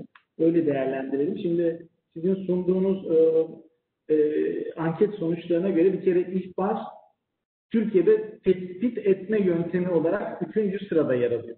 %38 ile e, yönetim incelemeleri veya kontrolleri %36 ile iç denetim geliyor. Ondan sonra çok arkalarda e, bilgilendirme hattı geliyor e, Türkiye'de. E, Akden'in e, 2020 Report to Nations raporuna baktığımız zaman %43 ile ihbar hattı orada duruyor. Şimdi bu şunu gösteriyor bize. Türkiye'de ihbar hatları etkin bir şekilde kullanılmıyor. E, bunun kullanılmamasının bir kök nedenlerini incelemek gerekiyor. E, çünkü biz diyoruz ki burada şu anda sizinle konuşurken bile ihbar hattı diyoruz. Bence ben kendi kurumlarımda, e, farklı kurumlar, bütün kurumlarımda ben bu arada etik kuralların yazılması ve uygulanması projelerine liderlik ettim. Hepsinde e, zaten bir kısmında sizlerle de çalıştık. Hepsinde şunları e, üzerinde durduk. E, bunun adına ihbar hattı demeyelim. Buna bir danışma hattı. Çünkü hakikaten o kişi bir danışıyor. Yani ne yapmalıyım? Yani böyle bir durumla karşılaştım. Siz dediniz ki böyle bir durumla karşılaştığın zaman danış. Bu da onun danışma hattı. Ne yapabilirim diye çok soru alıyoruz. Biraz önce örnek vermiştim. Ee, bir tane vaka yaşadık zamanında bir firmada. Ee, intellectual property, kurumsal bilginin sındırılması. Şimdi o firmada o kadar çok farkındalık oluştu ki te tedarikçi bilgi istiyor, ihbar hattına yazıyorlar. Diyorlar ki böyle bir bilgi talebi var. Ne yapmalıyız? İşte bilmem müşteri bir şey gelip kamerayla bilmem ne yapacağım soruyor. Bence bu güzel bir şey. Çünkü ihbar hatlarına yani bir şey tespit etmek için değil aynı zamanda olmadan engellemek için de bir yöntem olarak kullanıyoruz. Yani ben konuya buradan girdim. Çünkü e, önce etiği anlatmalıyız kurumlarda, yazmalıyız, anlatmalıyız, eğitimlerini vermeliyiz. Ben burada yüz yüze eğitimlere çok önem veriyorum. Hatta şu anki kurumumda Meksika'dan Güney Afrika'ya, Çin'den işte Fas'a kadar bütün eğitimleri ben açılışını yaptım. Yüz yüze ben anlattım. Dedim ki bu kurallar sizin kurallarınız, siz yazdınız, sizin yöneticileriniz yazdı. Hep birlikte bunu uygulayacağız. Ama zorlanacağız ve onun için de danışacağımız bir yer var. Bakın yalnız değilsiniz dedik. Dolayısıyla bilgilendirme veya danışma hatlarını maksimum kullanmamız lazım. Türkiye'de bu maalesef yeterince kullanılmıyor. Bir bunun altını çizeyim. Ee, burada katılımcılara da onun e, önerisini yapmaya çalışayım. Yani bunu aktarırken hep daha yapıcı, daha olumlu şekilde yaklaşın. Çünkü biz böyle bir şey söylediğimiz zaman jurnal, ispiyon vesaire gibi şeyler geliyor akıllara. E, dolayısıyla buna dikkat edin. E, Emre'nin sorusu zor olan soruya geldiğimiz zaman Emre diyor ki anonimlere bakalım mı, bakmayalım mı, anonimleri nasıl değerlendirelim? E, bence anonimlere bakmakta fayda var. Ben hiçbir zaman anonim gelen ihbarları veya bildirimleri e, dikkate almama yönünde bir polisi belirlemedim. E, ama anonim de gelse dönüp e, bunun içeriğine bakmak gerekiyor. İçeriğine bakıp e, bu incelemeye değer mi değmez mi? E, bir objektif bir karar vermek gerekiyor. e, inceleyebileceksek yeterince bilgi, kanıt bir şey var mı içinde? Yoksa o kişiyi tekrar approach edip arayıp bize daha fazla bilgi ver demek gerekir. Bunu yapmak lazım. Yani anonim de gelse ben bunları dikkate almamız gerektiğini düşünüyorum. Politikalarımızda da bunların dikkate alınacağını yazmamız gerekiyor. Çünkü dediğiniz gibi bazen çekiniyor, korkuyor. Hatta gerçekten hani e, kişisel olarak güvenlik endişesi de oluyor insanların. Dolayısıyla anonim yazmak zorunda kalabiliyorlar. Anonim gelen ihbarları da dikkate alalım. Ben soruyu doğru anladıysam böyle cevap verebilirim. E, bu arada e, Türkiye'de iç denetimin payı niye bu kadar yüksek diye de bir soru geliyor. Yani suistimalleri tespit ederken iç denetim niye bu kadar çok yüksek paya sahip? E, bu da bence iç denetimin Türkiye'deki farkındalığını gösteren güzel bir şey. Yani biz iç denetçiler olarak her zaman deriz ki iç denetim suistimali yakalamaya çalışan polis, e, savcı, ceza veren hakim değildir deriz. Ya, bunu yapmaya çalışmayız, yakalamaya çalışmayız. Ama e, işimiz gereği biz e, bütün süreçlerin en çok derinlemesine girdiğimiz için iç denetçiler olarak bunu yakalayabiliyoruz. Bu anket sonucu beni üzmedi. Bilakis sevindirdi çünkü iç denetçilerin e, bir e, şeyi, e, şirketlere yakalama açısından olsa bile bir değer kazan yarattığını görüyorum. Ama uluslararası iş denetim standartlarının e, 1210 nolu standartına dönüp baktığımda yeterlilik standartında belki iç denetçiler suistimal konusunda yeterli e, bilgi, beceri, deneyim, yetkinliğe sahip olmak zorundadır. Ancak bir iç denetçiden suistimal inceleme uzmanı veya suistimal uzmanı kadar e, bilgiye sahip olması beklenmez. Yani iç denetçiden bunu yakalaması beklenmez ifadesi yer alıyor. Dolayısıyla iç denetçiyi biz polis, savcı gibi korkunç bir adam olarak göstermiyoruz. E, ama minimum düzeyde bilgiye sahip olması lazım. E, Türkiye'deki iç denetçilerin profiline baktığımızda çok geçmişimizden gelen iyi bir e, teftiş kültürü var. E, müfettişlerimiz e, iç denetçi olanlar var, müfettiş olarak devam edenler var. Dolayısıyla bunların algıları çok güçlü. Onlar tespit edebiliyorlar bence. Bu gerekçelerinden biri olabilir. Bir de e, maalesef Türkiye'de e, hala e, şirketlerin halka açıklık oranları düşük. Patron şirketi gibi yönetiliyor. Patron şirket büyüdüğü zaman e, bence bu kurumsallık açısından güzel bir şey. İç denetçi istihdam etme yöntemine gidiyor ve iç denetçiler şunu bekliyor. Bana suistimal yakala. Aslında biz bunu istemiyoruz ama patron şöyle düşünüyor. Bana bir suistimal yakaladığı zaman onun performansını monetary olarak, parasal olarak ölçebiliyorum diye düşünüyor.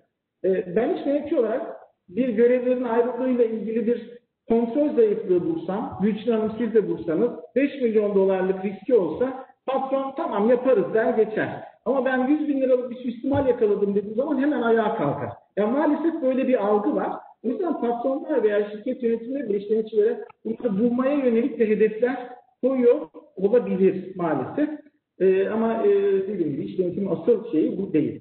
Peki gelen ihbarlarla ilgili kim inceleme yapmalı? Öyle de bir sorumuz vardı sanki şeyin içerisinde. Onu da e, şey yapayım. Ben e, çünkü bu da çok tartışılan bir konu. Bazı kurumlarda belki Gülşen Hanım siz de karşılaşmışsınızdır. İç denetçi mi incelesin? E, uyum direktörü mü alalım? Uyum birimi mi kuralım? Yoksa işte dışarı mı verelim bu işi? Nasıl inceleyelim konusu da genelde sorulan bir soru. Şimdi bence bunun bir formülü yok. E, onu söyleyeyim. Yani standart olarak iç denetçi bununla ilgilenmemeli, cevaplamamalı şey diyemeyiz. E, şirketin yapısına göre değişebilir. Ancak ve ancak uluslararası iç denetim standartları ve mevzuata uyum sağlamak koşuluyla ben çoğu şirkette e, iç denetçilerin e, ihbar mekanizmalarını yönettiğini gördüm. Bunda ben bir sakınca olduğunu düşünmüyorum. İçeride tarafsızlığını, bağımsızlığını kurduktan sonra, e, standartlarına uyduktan sonra, iş dağılımını ona göre yaptıktan sonra bunu yönetebilir. Bazı şirketler dışarıya tamamen outsource ediyor. E bu da çok güzel bir yöntem. Bu da tamamen bağımsızlığı sağlayan bir yöntem. Tarafsız bakış açısını sağlayan bir yöntem. Dolayısıyla bu da mümkün. E, uyum yöneticisi varsa ne güzel. Müthiş en güzeli zaten uyum yöneticilerine bunu bıraktığımız. Onlar yönetsinler bu süreci. E, ama her şirket bu e, güçte olmayabiliyor. E, uzattım biliyorum ama hani bu soruyu, Emre'nin sorusunu birazcık başka konularla bağlayarak açıklamayı tercih ettim. Teşekkürler. Ee, çok teşekkürler Kemal Bey. Peki e, diğer sorumu da ben Gülçin Hanım'a yöneltmek istiyorum. Yine bağlantılı bir soru esasında.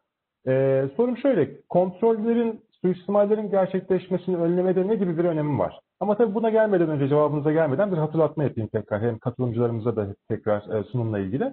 Ee, anketimize baktığımızda suistimallerin sebepleri arasında ilk üç sırada iç kontrol eksiklikleri e, ilk sırada gelmişti. İkinci sırada etkin olmayan gözetimler ve sınırsız yetkiler e, gelmekteydi. Yetkilerin ayrılığı gibi temel kontroller hala önemli bir paya sahip. %20'sine baktığımızda ise iyi kontroller olsa da yine de suistimaller gerçekleştirilmiş. O yüzden spesifik olarak hani e, kontrollerin ne gibi bir e, etkisi vardır? E, iyi kontrol suistimal olasılığını azaltır mı? Bu konudaki düşüncelerinizi almak isteriz. Bence azaltır. %20'lik bir oran çok ciddi bir oran. O zaman iyi kontrol değiller diye anlıyorum ben. Ee, Şimdi şirkete ilişkin diğer tüm riskler gibi suistimal risklerini de minimize etmek için kontrolleri yapılandırmak gerekiyor. Burada e, suistimal riski özelinde bunu yönetebilmek için e, suistimali önleme, e, tespit etme, inceleme ve iyileştirme gibi adımlardan oluşan çok güçlü bir iç kontrol mekanizmasına ihtiyaç var. Bunu kurmak gerekiyor.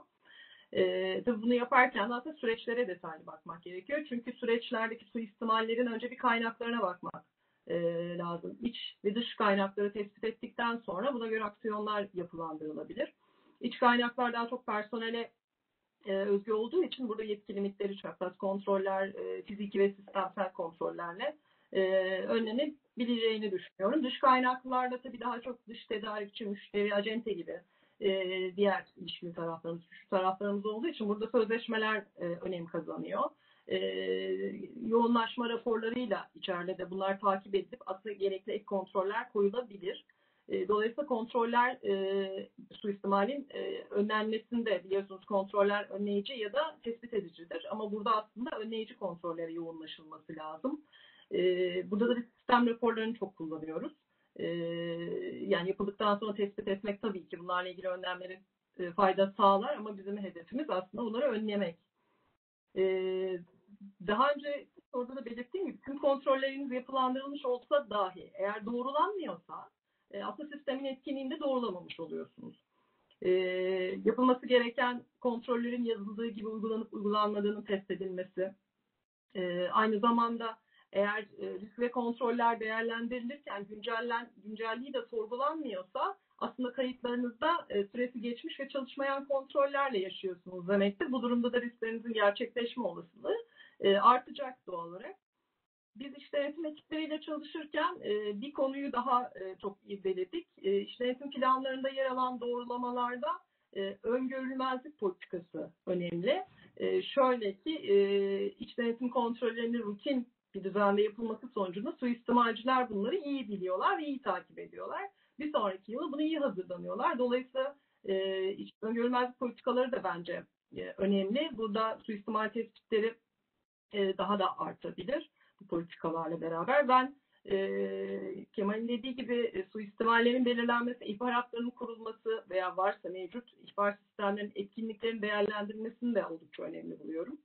E, ama e, mevzu yine insan faktörüne bağlandığı için aslında e, içeride e, insan e, her ne kadar başta işe alım esnasında bununla ilgili bazı e, sıkıntılar olabileceğini konuştuysak da aslında bence e, sadece ana faaliyet konusunda değil destek departmanlarında yani insan kaynakları gibi departmanlarda da bu algı yükseltilip buna özgü e, kontrollerde koyulabilir suistimalci profillerine özgü. E, Bir de size teknoloji kullanımı ile ilgili bir soru yöneltmek istiyorum. Aynı zamanda katılımcılarımızdan Özlem Kırcan'ın da sorusunu cevaplamış olacağız diye düşünüyorum bu vasıtayla. E, ama iki taraflı bir soru. Yani e, anket sonuçlarına baktığımızda e, biraz önce sunumda e, anlattığım gibi teknoloji kullanımı önceki senelere göre biraz düşmüş. Suistimalcilerin e, kullanımı açısından.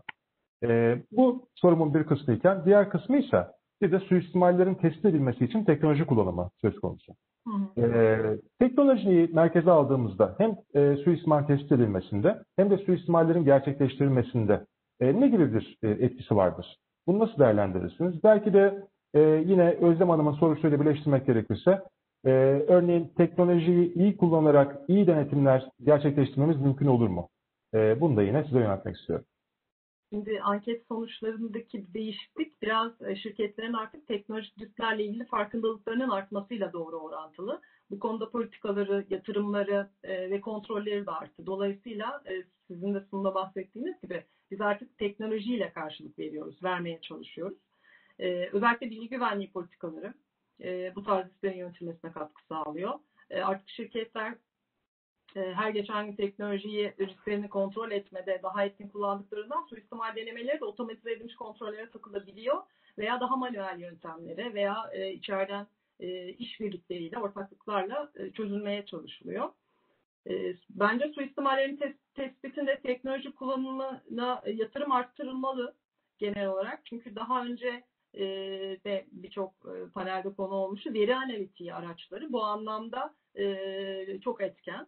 Biz sektör olarak da bu e, veri analitiği araçlarını kullanıyoruz. Çünkü buradan e, işte kişisel davranışlar, işte kullanımlar, resmi kayıtlar, sosyal medya analizi vesaire gibi detayları da olabiliyor orada. E, ve şüpheli işlemleri ki sektör olarak biz mevzuatlı olarak da şüpheli işlem bildirimi yapmakla mükellefiz.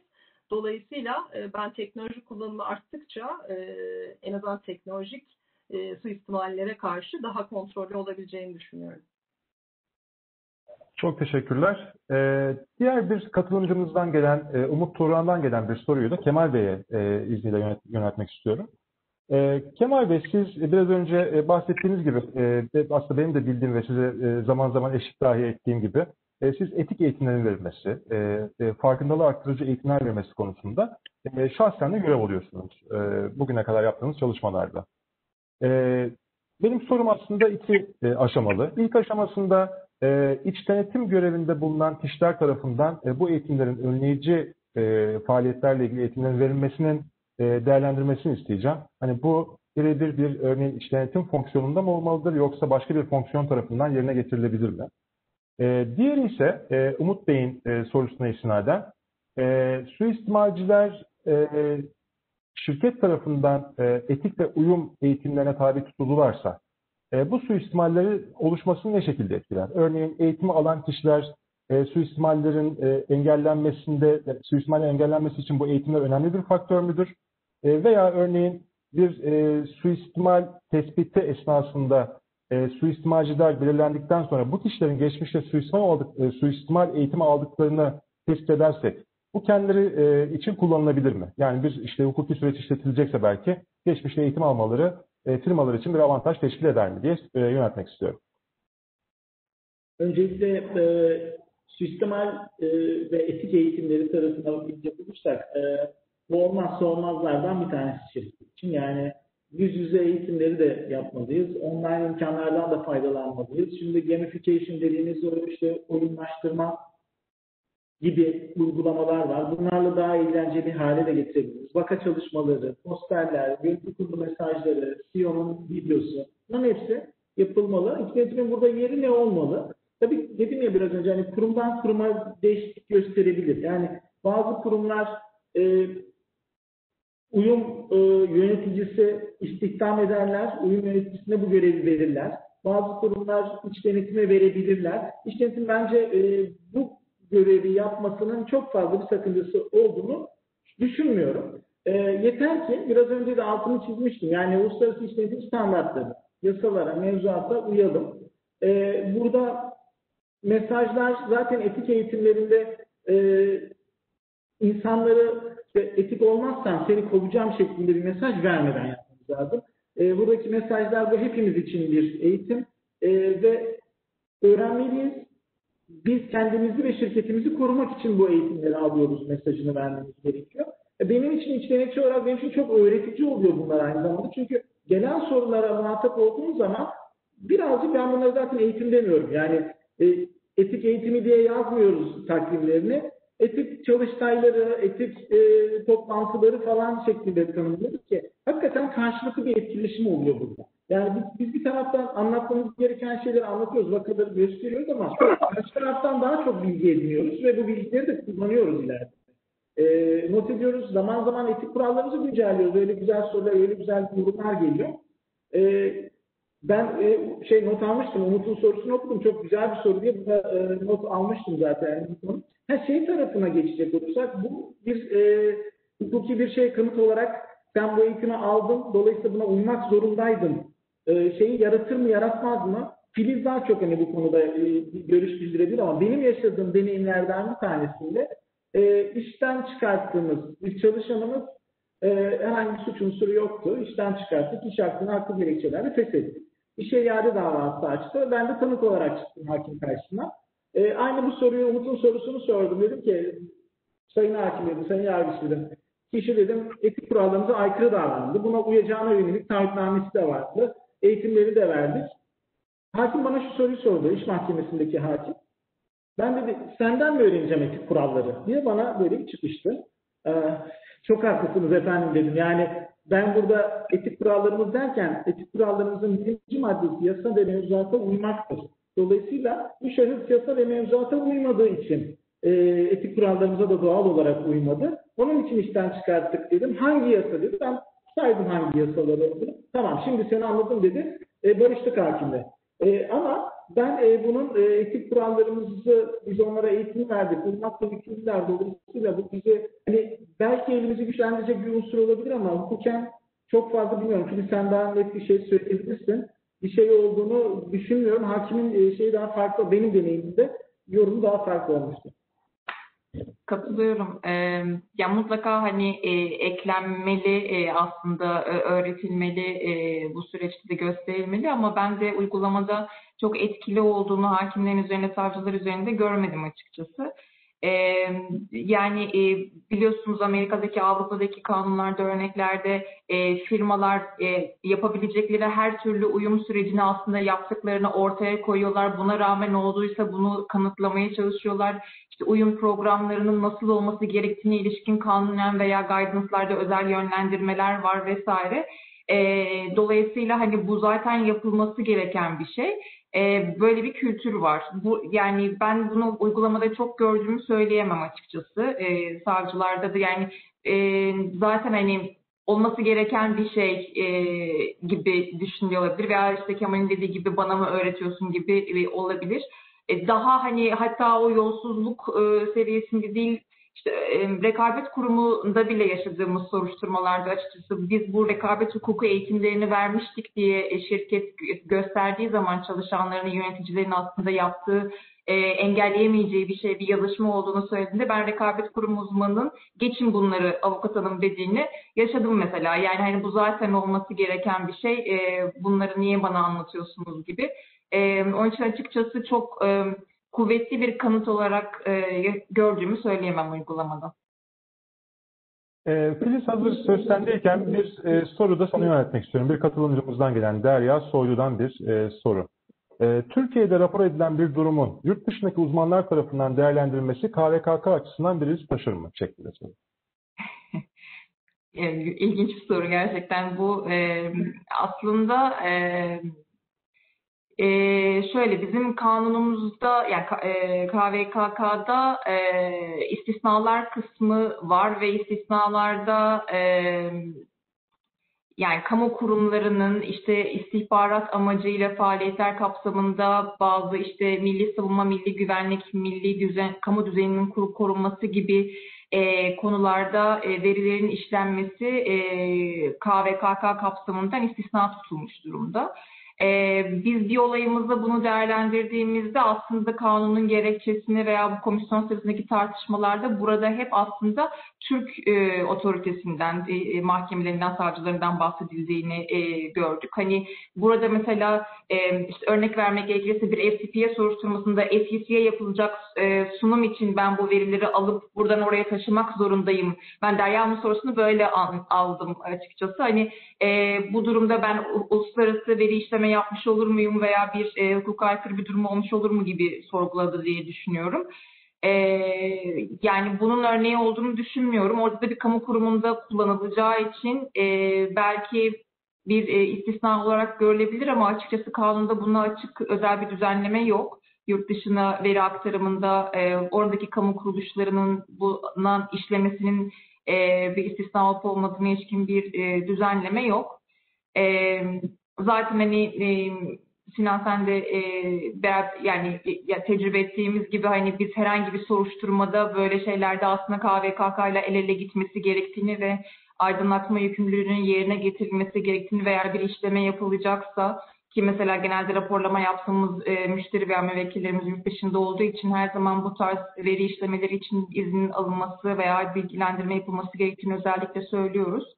E, bu çerçevede bence dikkatli olmasında fayda var. Açıkçası ben uygulamada e, hani böyle bir durumda e, KVKK ihlali olur mu e, değerlendirmek lazım. Yani orada da bir kamu göre kurumu bir Adalet Bakanlığı veya SEC soruşturmasında kullanılacaksa istisna çerçevesinde değerlendirilebilir mi? Bir düşünmek lazım.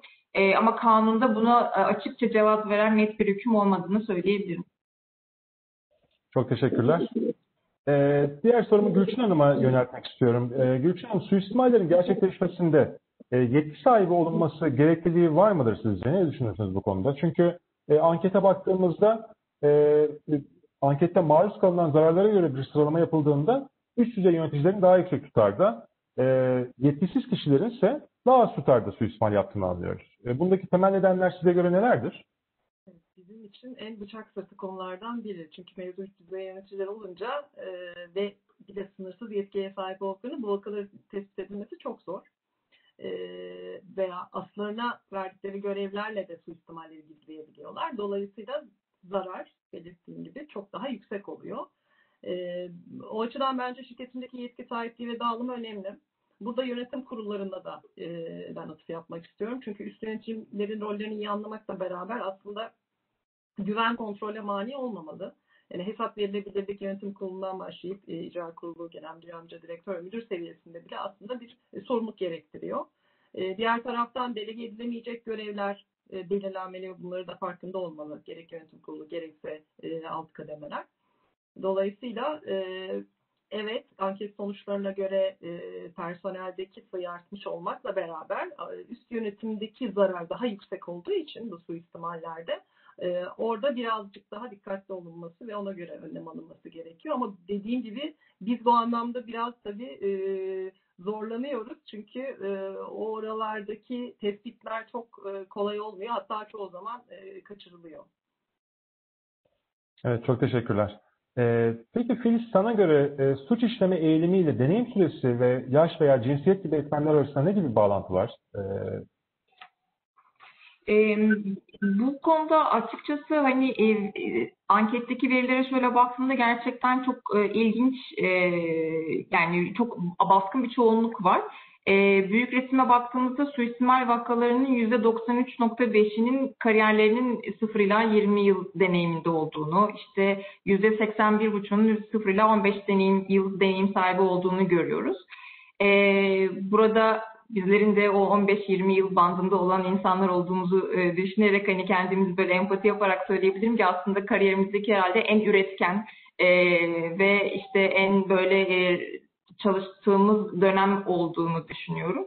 Yani bu deneyim yılı arttıkça o iş yerindeki e, bilinirliğiniz, tanı, belki yeriniz sağlamlaştıkça, etrafı daha iyi tanıdıkça hani bu dönemin arttığını aslında bu ihtimalin arttığını e, söyleyebiliriz. Bir başka ilginç veri de aslında 2016 yılıyla kıyasladığımızda 1 ila 4 yıl arasındaki deneyime sahip e, çalışanlarda da e, bir artış var e, suistimal vakalarına karışmalarında.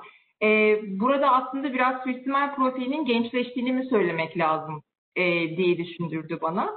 E, yani aslında evet ilerleyen e, dönemlerde üst düzey yöneticilerin e, dahil olmuş oldukları suistimal vakalarında bıraktıkları hasar daha büyük, montanlar daha büyük. Ama e, baktığımızda hani e, genç e, suistimalcilerin de e, bir hayli sayısının arttığını görüyoruz. Burada aslında acaba bu 18-45 yaş aralığını görüyorum o diyagramdan. Hani orada acaba e, bu hatta işte geçenlerde konuştuğumuz Akfen'in raporunda da yer alan acaba bu finansal sıkıntıların veya yaşam koşullarındaki istikrarsızlık dönemine denk gelen dönem mi acaba bu diye düşündürdü bana. Çünkü 45-55 arasından sonra daha böyle istikrarlı bir dönemde daha aslında azalan bir trend var. E, 18-45 arasında daha bir yoğunluk var diye görüyorum. Ee, buradan hani yaş, deneyim demişken cinsiyeti de aslında değinmek istiyorum. Kat- e, burada e, katılımcılarımızdan da bu konularda soru geldiğini görüyorum. Ee, sevgili Emre'nin de o anlamda sorusuna e, cevap vermiş olalım e, cinsiyet bakımından. Emre de bilir ben e, Teyit Akademi'de bu adli istatistikler e, şeyine atıf yapmayı raporlarına çok severim ve orada e, bölgesel anlamda işte uyruk bazında, cinsiyet bazında ve yaş bazında kırılımlar vardır e, suç tiplerine göre. Ceza kanununun kategorilerine göre aslında bir ayrım var. Burada yine az önce yaptığım gibi kamu idaresinin güvenilirliğine ve işleyişine karşı suçlar kategorisini ele aldım. Ona incelemek istedim. İşte bu e, yolsuzluk e, kapsamında görebileceğimiz rüşvet, irtikap, zimmet e, suçlarına baktığımızda e, cinsiyet olarak e, yüzde dokuzu kadın, yüzde 91'i erkek olarak gözüküyor. Bu aslında e, KPMG'nin e, anket sonuçlarını da teyit ediyor. Yüzde 8 ya 9 bandındaydı diye hatırlıyorum. E, burada açıkçası e, yani şunu e, diyecek yani e, kadınlar suistimale ka- karışmıyor, işte erkekler daha fazla karışıyor gibi böyle e, ayrımlar yapmak istemiyorum. Bunu söyleyecek hiç yeteri veri yok bence elimizde. Çünkü e, bu e, ankete katılanların veya bu şirket profilinde, şirketlerin profiline baktığımızda ne kadarı kadın çalışandı, ne kadar erkek çalışandı onu bilmiyoruz. Hani üst düzey yöneticilere baktığımızda kadın üst düzey yöneticileri kaç kişiydi, e, erkekler kaç kişiydi onu bilmiyoruz. Belki sadece büyük resimde kadınların daha e, yani çoğunlukta olmadığı veya azınlıkta olduğu bir iş ortamındaki e, oranlamayı e, değerlendiriyoruz gibi geliyor bana. E, ama en azından bunu e, söyleyebiliriz. Yani %9'a %91'lik bir e, fark var e, suç bazında da baktığımızda. E, dediğim gibi fırsatınız olursa bu kaynağı inceleyebilirsiniz. E, Türkiye'nin 7 coğrafi bölgesi bakımından da bir e, kırılım var. E, orada da Marmara bölgesinin açık ara daha önde olduğunu görüyorsunuz zaten iş dünyası e, e, nedeniyle. E, açıkçası suç eğilimlerine ba- baktığımda bu e, farklılıkları görüyorum. Çok teşekkürler. Ben e, Ee, Sinan'a dönmek Sinan'a bir soru sormak istiyorum. Soracağım Sinan. Bu e, suistimalcinin profilini anlatırken kurumlarda bir şey işlem oldu. Bir yerde ben şöyle bir vaka yaşadım. Dedim ki işte genelde muhasebe finans sektörü şey, tarafında çalışırlar. Genelde erkek oldular. Oranları da yazdım. Yaşı 40 yaş dedim. İşte ve benzeri şeyleri koydum. Bizim o zamanki şirketimizin muhasebe müdürü elini kaldırdı. Yani dedi bir de kilomu yapsaydın dedi. Gözlüklü şişman deseydin dedi. Beni tam tanımladın falan böyle bir alınganlık oldu. Bunu vermeli miyiz eğitimlerde? Ne dersin? Ee, bu da bana aslında eğitimlerde geliyor. Yani bu anlattığınızı biz nasıl kullanacağız diyorlar örneğin. Yani e, birçok tanıma aslında uyan kişi var e, baktığımızda. O, o sayılan tanıma uyan. E, gerçekten de eğitimlerde çok karşılaşıyorum bununla. E, bunun farkında olmalıyız bence. E, bir veridir sonuçta. E, ama e, işte bir kişinin çok çevresi tarafından sevilmesi, e, işte saygı duyulması, cesaretli kişiler oluşması onun suistimalci olduğu anlamına gelmez. E, bu bence biraz da sonucunun böyle olduğunu gösterir. Yani böyle olması sebebiyle belki de yani suistimalci olmasını etki etmesi değil ama suistimalcinin o şekilde olması bir sonuçtur diye düşünüyorum ben. E, dolayısıyla e, tabii ki yetki sahibi olmak daha önemli bir e, dikkat çekici bir durumdur. Ama işte sadece erkek olması, işte orta yaşlı olması gibi e, sonuçlar daha sınırlı etki e, e, verecektir diye düşünüyorum açıkçası. E, ben de hazır siz bana soru sormuşken ben de size hemen de soruya cevap vereyim. E, şimdi e, aslında şöyle sorayım. Barış, Barış Zoroğlu'nun da e, sorusuyla birlikte aslında birleştirmek istiyorum katılımcılarımızdan. E, organizasyonlarda insanların davranışlarını etkileyen temel faktörler nedir? Ve bunu da tabii e, tamamlayıcı olarak örneğin e, yöneticilerin davranışları aşağı kademelere doğru nasıl sirayet eder, nasıl etkiler? E, belki güzel bir örnek verebilirsiniz bu konuda diye düşünüyorum. Ee, ben özel, önce Barış'a selamlarımı ileteyim. Çok sevdiğim bir dostum. Eskiden çalışmıştık. Ee, güzel bir soru. Ee, organizasyonlarda insan davranışlarını en çok etkileyen şey aslında açılış konuşmasında Gülçin buna değindi. Son et tap dedi. Yani üst yönetimin e, tavırları bence en önemli e, burada etki eden bir konu. Şimdi biliyorsunuz e, iç kontrolle ilgili en gelişmiş ve çoğu ülkenin de resmi olarak kullandığı e, koza bütünleşik kontrol çerçevesi var. Onun birinci seviyesinde ne diyor? Kontrol ortamı diyor. Üst yönetim, yönetim kurulu, genel kurul kontrol ortamını kurmalı diyor. Kurum e, dürüstlük ve etik değerler temelinde oluşturulmalı diyor. Yani en başta üst yönetimin ve yönetim kurulunun etik değerleri benimsemesi ve uygulaması gerekiyor ki biz ondan sonra kontrol mekanizmasının diğer katmanlarını işte risk değerlendirmesi, e, kontrol eylemleri, e, bilgi ve izleme faaliyetlerini onun üzerine kur- kurgulayalım. Dolayısıyla davranışları en çok etkileyen şey o. Yine kododan ilerleyecek olursam şunu görüyorum. Prosedürler, politikalar yazılı olursa zaten çalışanları belli sınırlar içerisinde tutuyoruz. Davranışlarını doğal olarak e, etkiliyoruz. Bu da yine davranışları e, etkileyen faktörlerden bir tanesi. E, etik değerlerin sürekli anlatılması, mesajlar, güçlü politika prosedürler ve tabii ki güçlü bilgi sistemleri altyapısı ve bilgi sistemlerinden yine bahsettik. E, engelleyici kontrollerin artırılmış olması bence kritik. Kurum kültürüne değinmek istiyorum. Bunların hepsinin tabii ki dokunduğu şey kurum kültürü. Biz ne kadar güçlü bir kontrol mekanizması kurarsak, o ton etiketi o kadar güçlü kurarsak kültürümüz de sağlam oluyor. Ee, ben suistimalcilerin çoğunda her bir vaka sonrasında aslında o vakayı şu suistimal üçgenine oturtuyorum. Hangi kenarım daha geniş benim burada? Nereden biz gol yedik? Bunları değerlendiriyorum. Ben bunu da öneriyorum bunun yönetici arkadaşlarına. Her vakadan sonra bakalım. Yani bu adam niye yapmış? Motivasyonu neymiş? Hangi kontrol zayıflıklarından faydalanmış? E, bunlar çoğunda ben şunu görüyorum. Yani e, bu tarz vakaların çok olduğu şirketlerde birincisi adalet duygusunun zedelenmiş olduğunu görüyorum. Yani şirket çalışanları adil bir e, şirket yapısı olduğunu düşünmüyorlar. E, takdir ve ödüllendirmenin yeterli ve yine adil bir şekilde yapılmadığını düşünüyorlar. Bunun gibi e, soft e, kültürel konularda yine ele almamız gereken bir şey ama en başta ben e, yine üst yöneticilerin e, bizim şirketimizde ben ve diğer e, icraat kurulu arkadaşlarımızın sürekli bu konuya değinmesi konusunda e, şey yapıyoruz, e, yönlendirmeler yapıyoruz arkadaşlarımıza ve yine sonuçları da tarafsız, bağımsız ve transparan bir şekilde de ortaya sonucunu yayınlamamız gerekiyor. Yani biz inceleme yaptık.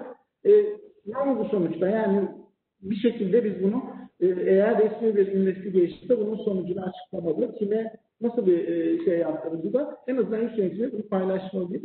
Davranışların temelinde kültür, o temelinde son etap ama hepsinin de kurumsal politika ve prosedürlerle bütünleşik bir şekilde yönetilmesi gerektiğini düşünüyorum. E, Bir de şey de var değil mi? O politikaların prosedürlerinde uygulanması. Yani sadece yazılı olması değil. Görevi. Yani uygulayacaklar onların görevi ama iç yönetim de bunun yönetimini sürekli yapmalı. Yani güçlü bir iç yönetimi onu ben default var diye kabul ediyorum. Güçlü de bir iç yönetim olmalı tabii ki. Kesinlikle.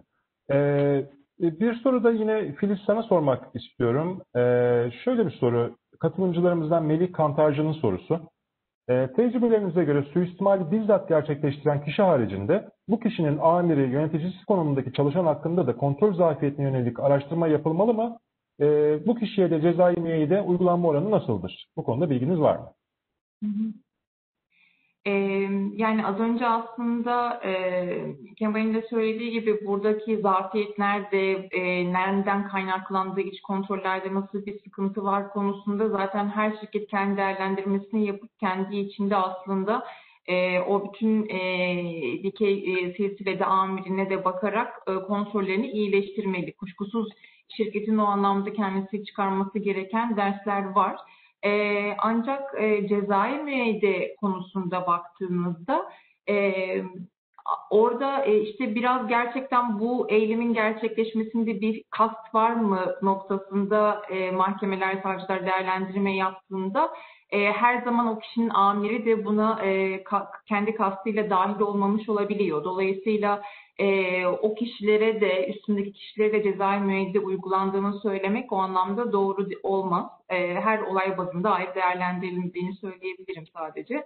E, burada e, biliyorsunuz hani uygulamada e, bir e, savcı ifade vermeye çağırdığı zaman e, genelde şirket yetkilisini görmek ister zaten karşısında bir e, çağrı e, gönderdiğinde şirketin yetkisi gelsin bana bunu anlatsın der ve bizim de ilk reaksiyonumuz aslında en kıdemli insanı göndermeyelim. Önce bir düşünelim bu olayla gerçekten alakada olmuş olacak ve konu hakkında fikir sahibi olabilecek kişi kimdir e, diye düşünürüz. Hani dolayısıyla oradaki doğru kişiyi bulmak e, çok önemli.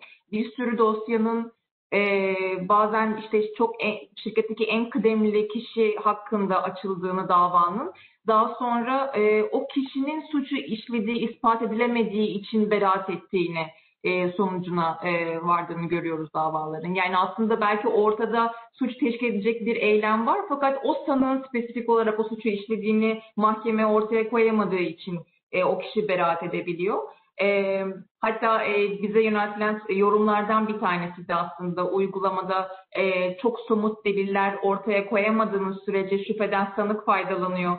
O nedenle e, beraatler daha yüksek oranda diye bir yorum da gördüm e, chat kısmında yazan e, katılımcılarımızdan.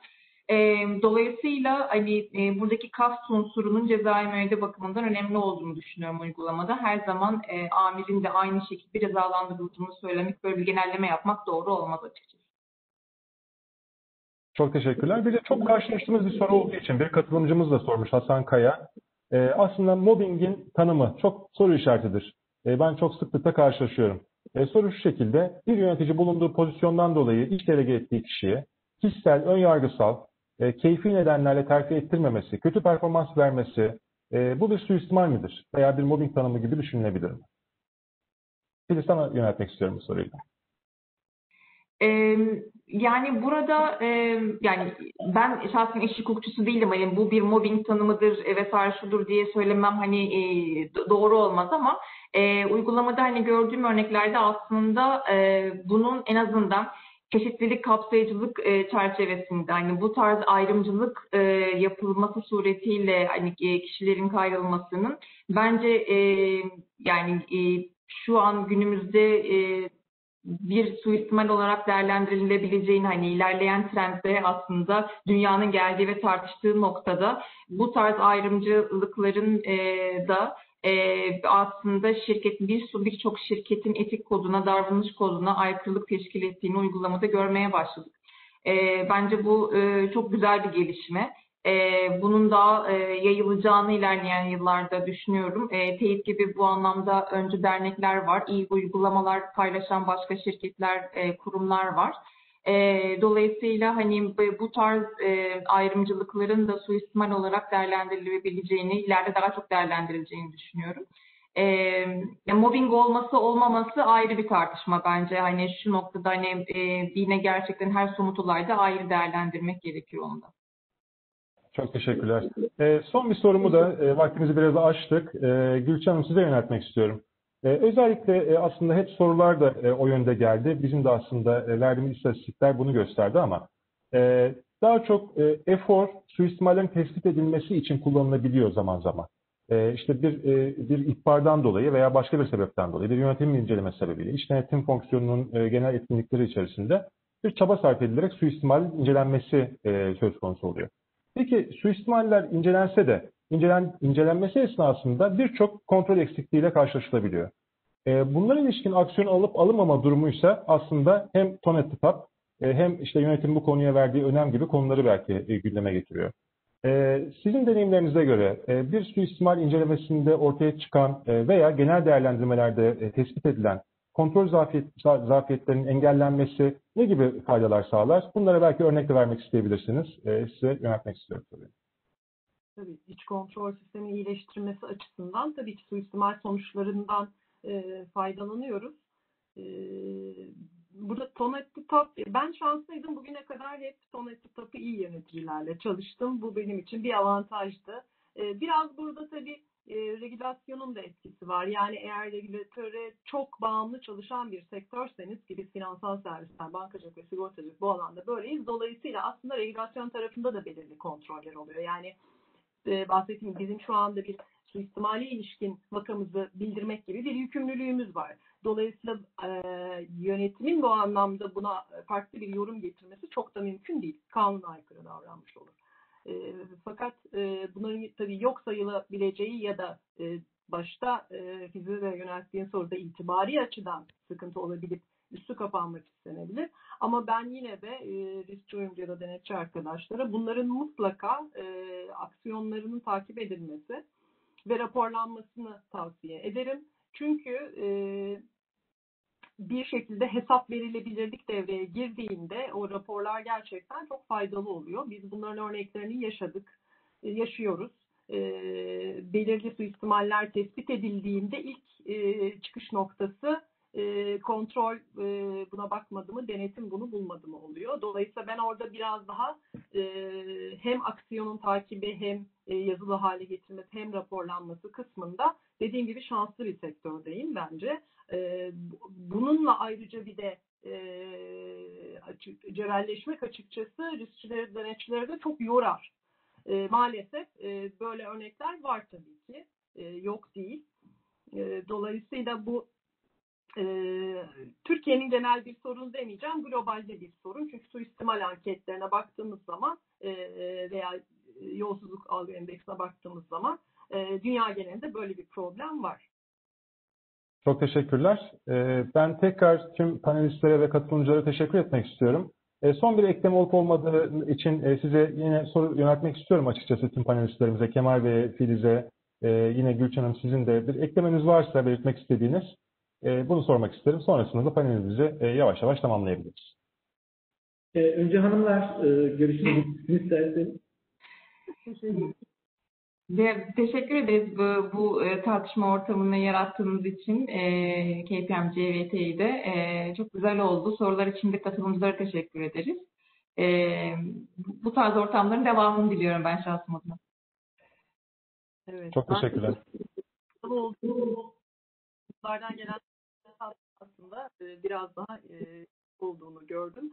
E, malum farkındalık haftası e, farkındalık e, hepimizin çalıştığı ama anket sonunda e, biraz daha doğru konuştuğumuz gibi kadın istihdamının artması ve yönetimde kadın e, sayısının artmasını diliyorum bir kadın olarak. E, bir sektörde de Kadın Sigortacılar e, Derneği de var. Dolayısıyla e, tabii bu işin esprisi ama önemli bir hafta. Dolayısıyla hani e, cinsiyet ayrımı yapmaksızın bu farkındalığa hep beraber e, katkı sağladıysak ne mutlu. Teşekkür ediyorum bu fırsatı verdiğiniz için. Çok teşekkürler.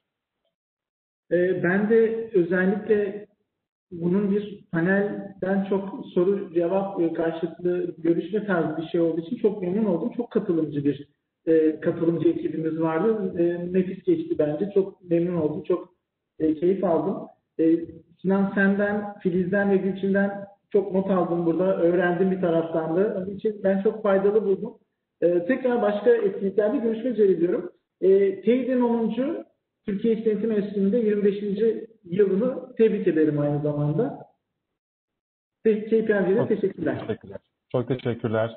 E, raporumuzu da ay sonuna kadar e, kamuoyuyla paylaşmayı planlıyoruz. E, bugün sunumunu gerçekleştirdiğimiz bilgilerini detaylarıyla yine e, katılımcılarımız e, elde edebilirler. Çok teşekkürler.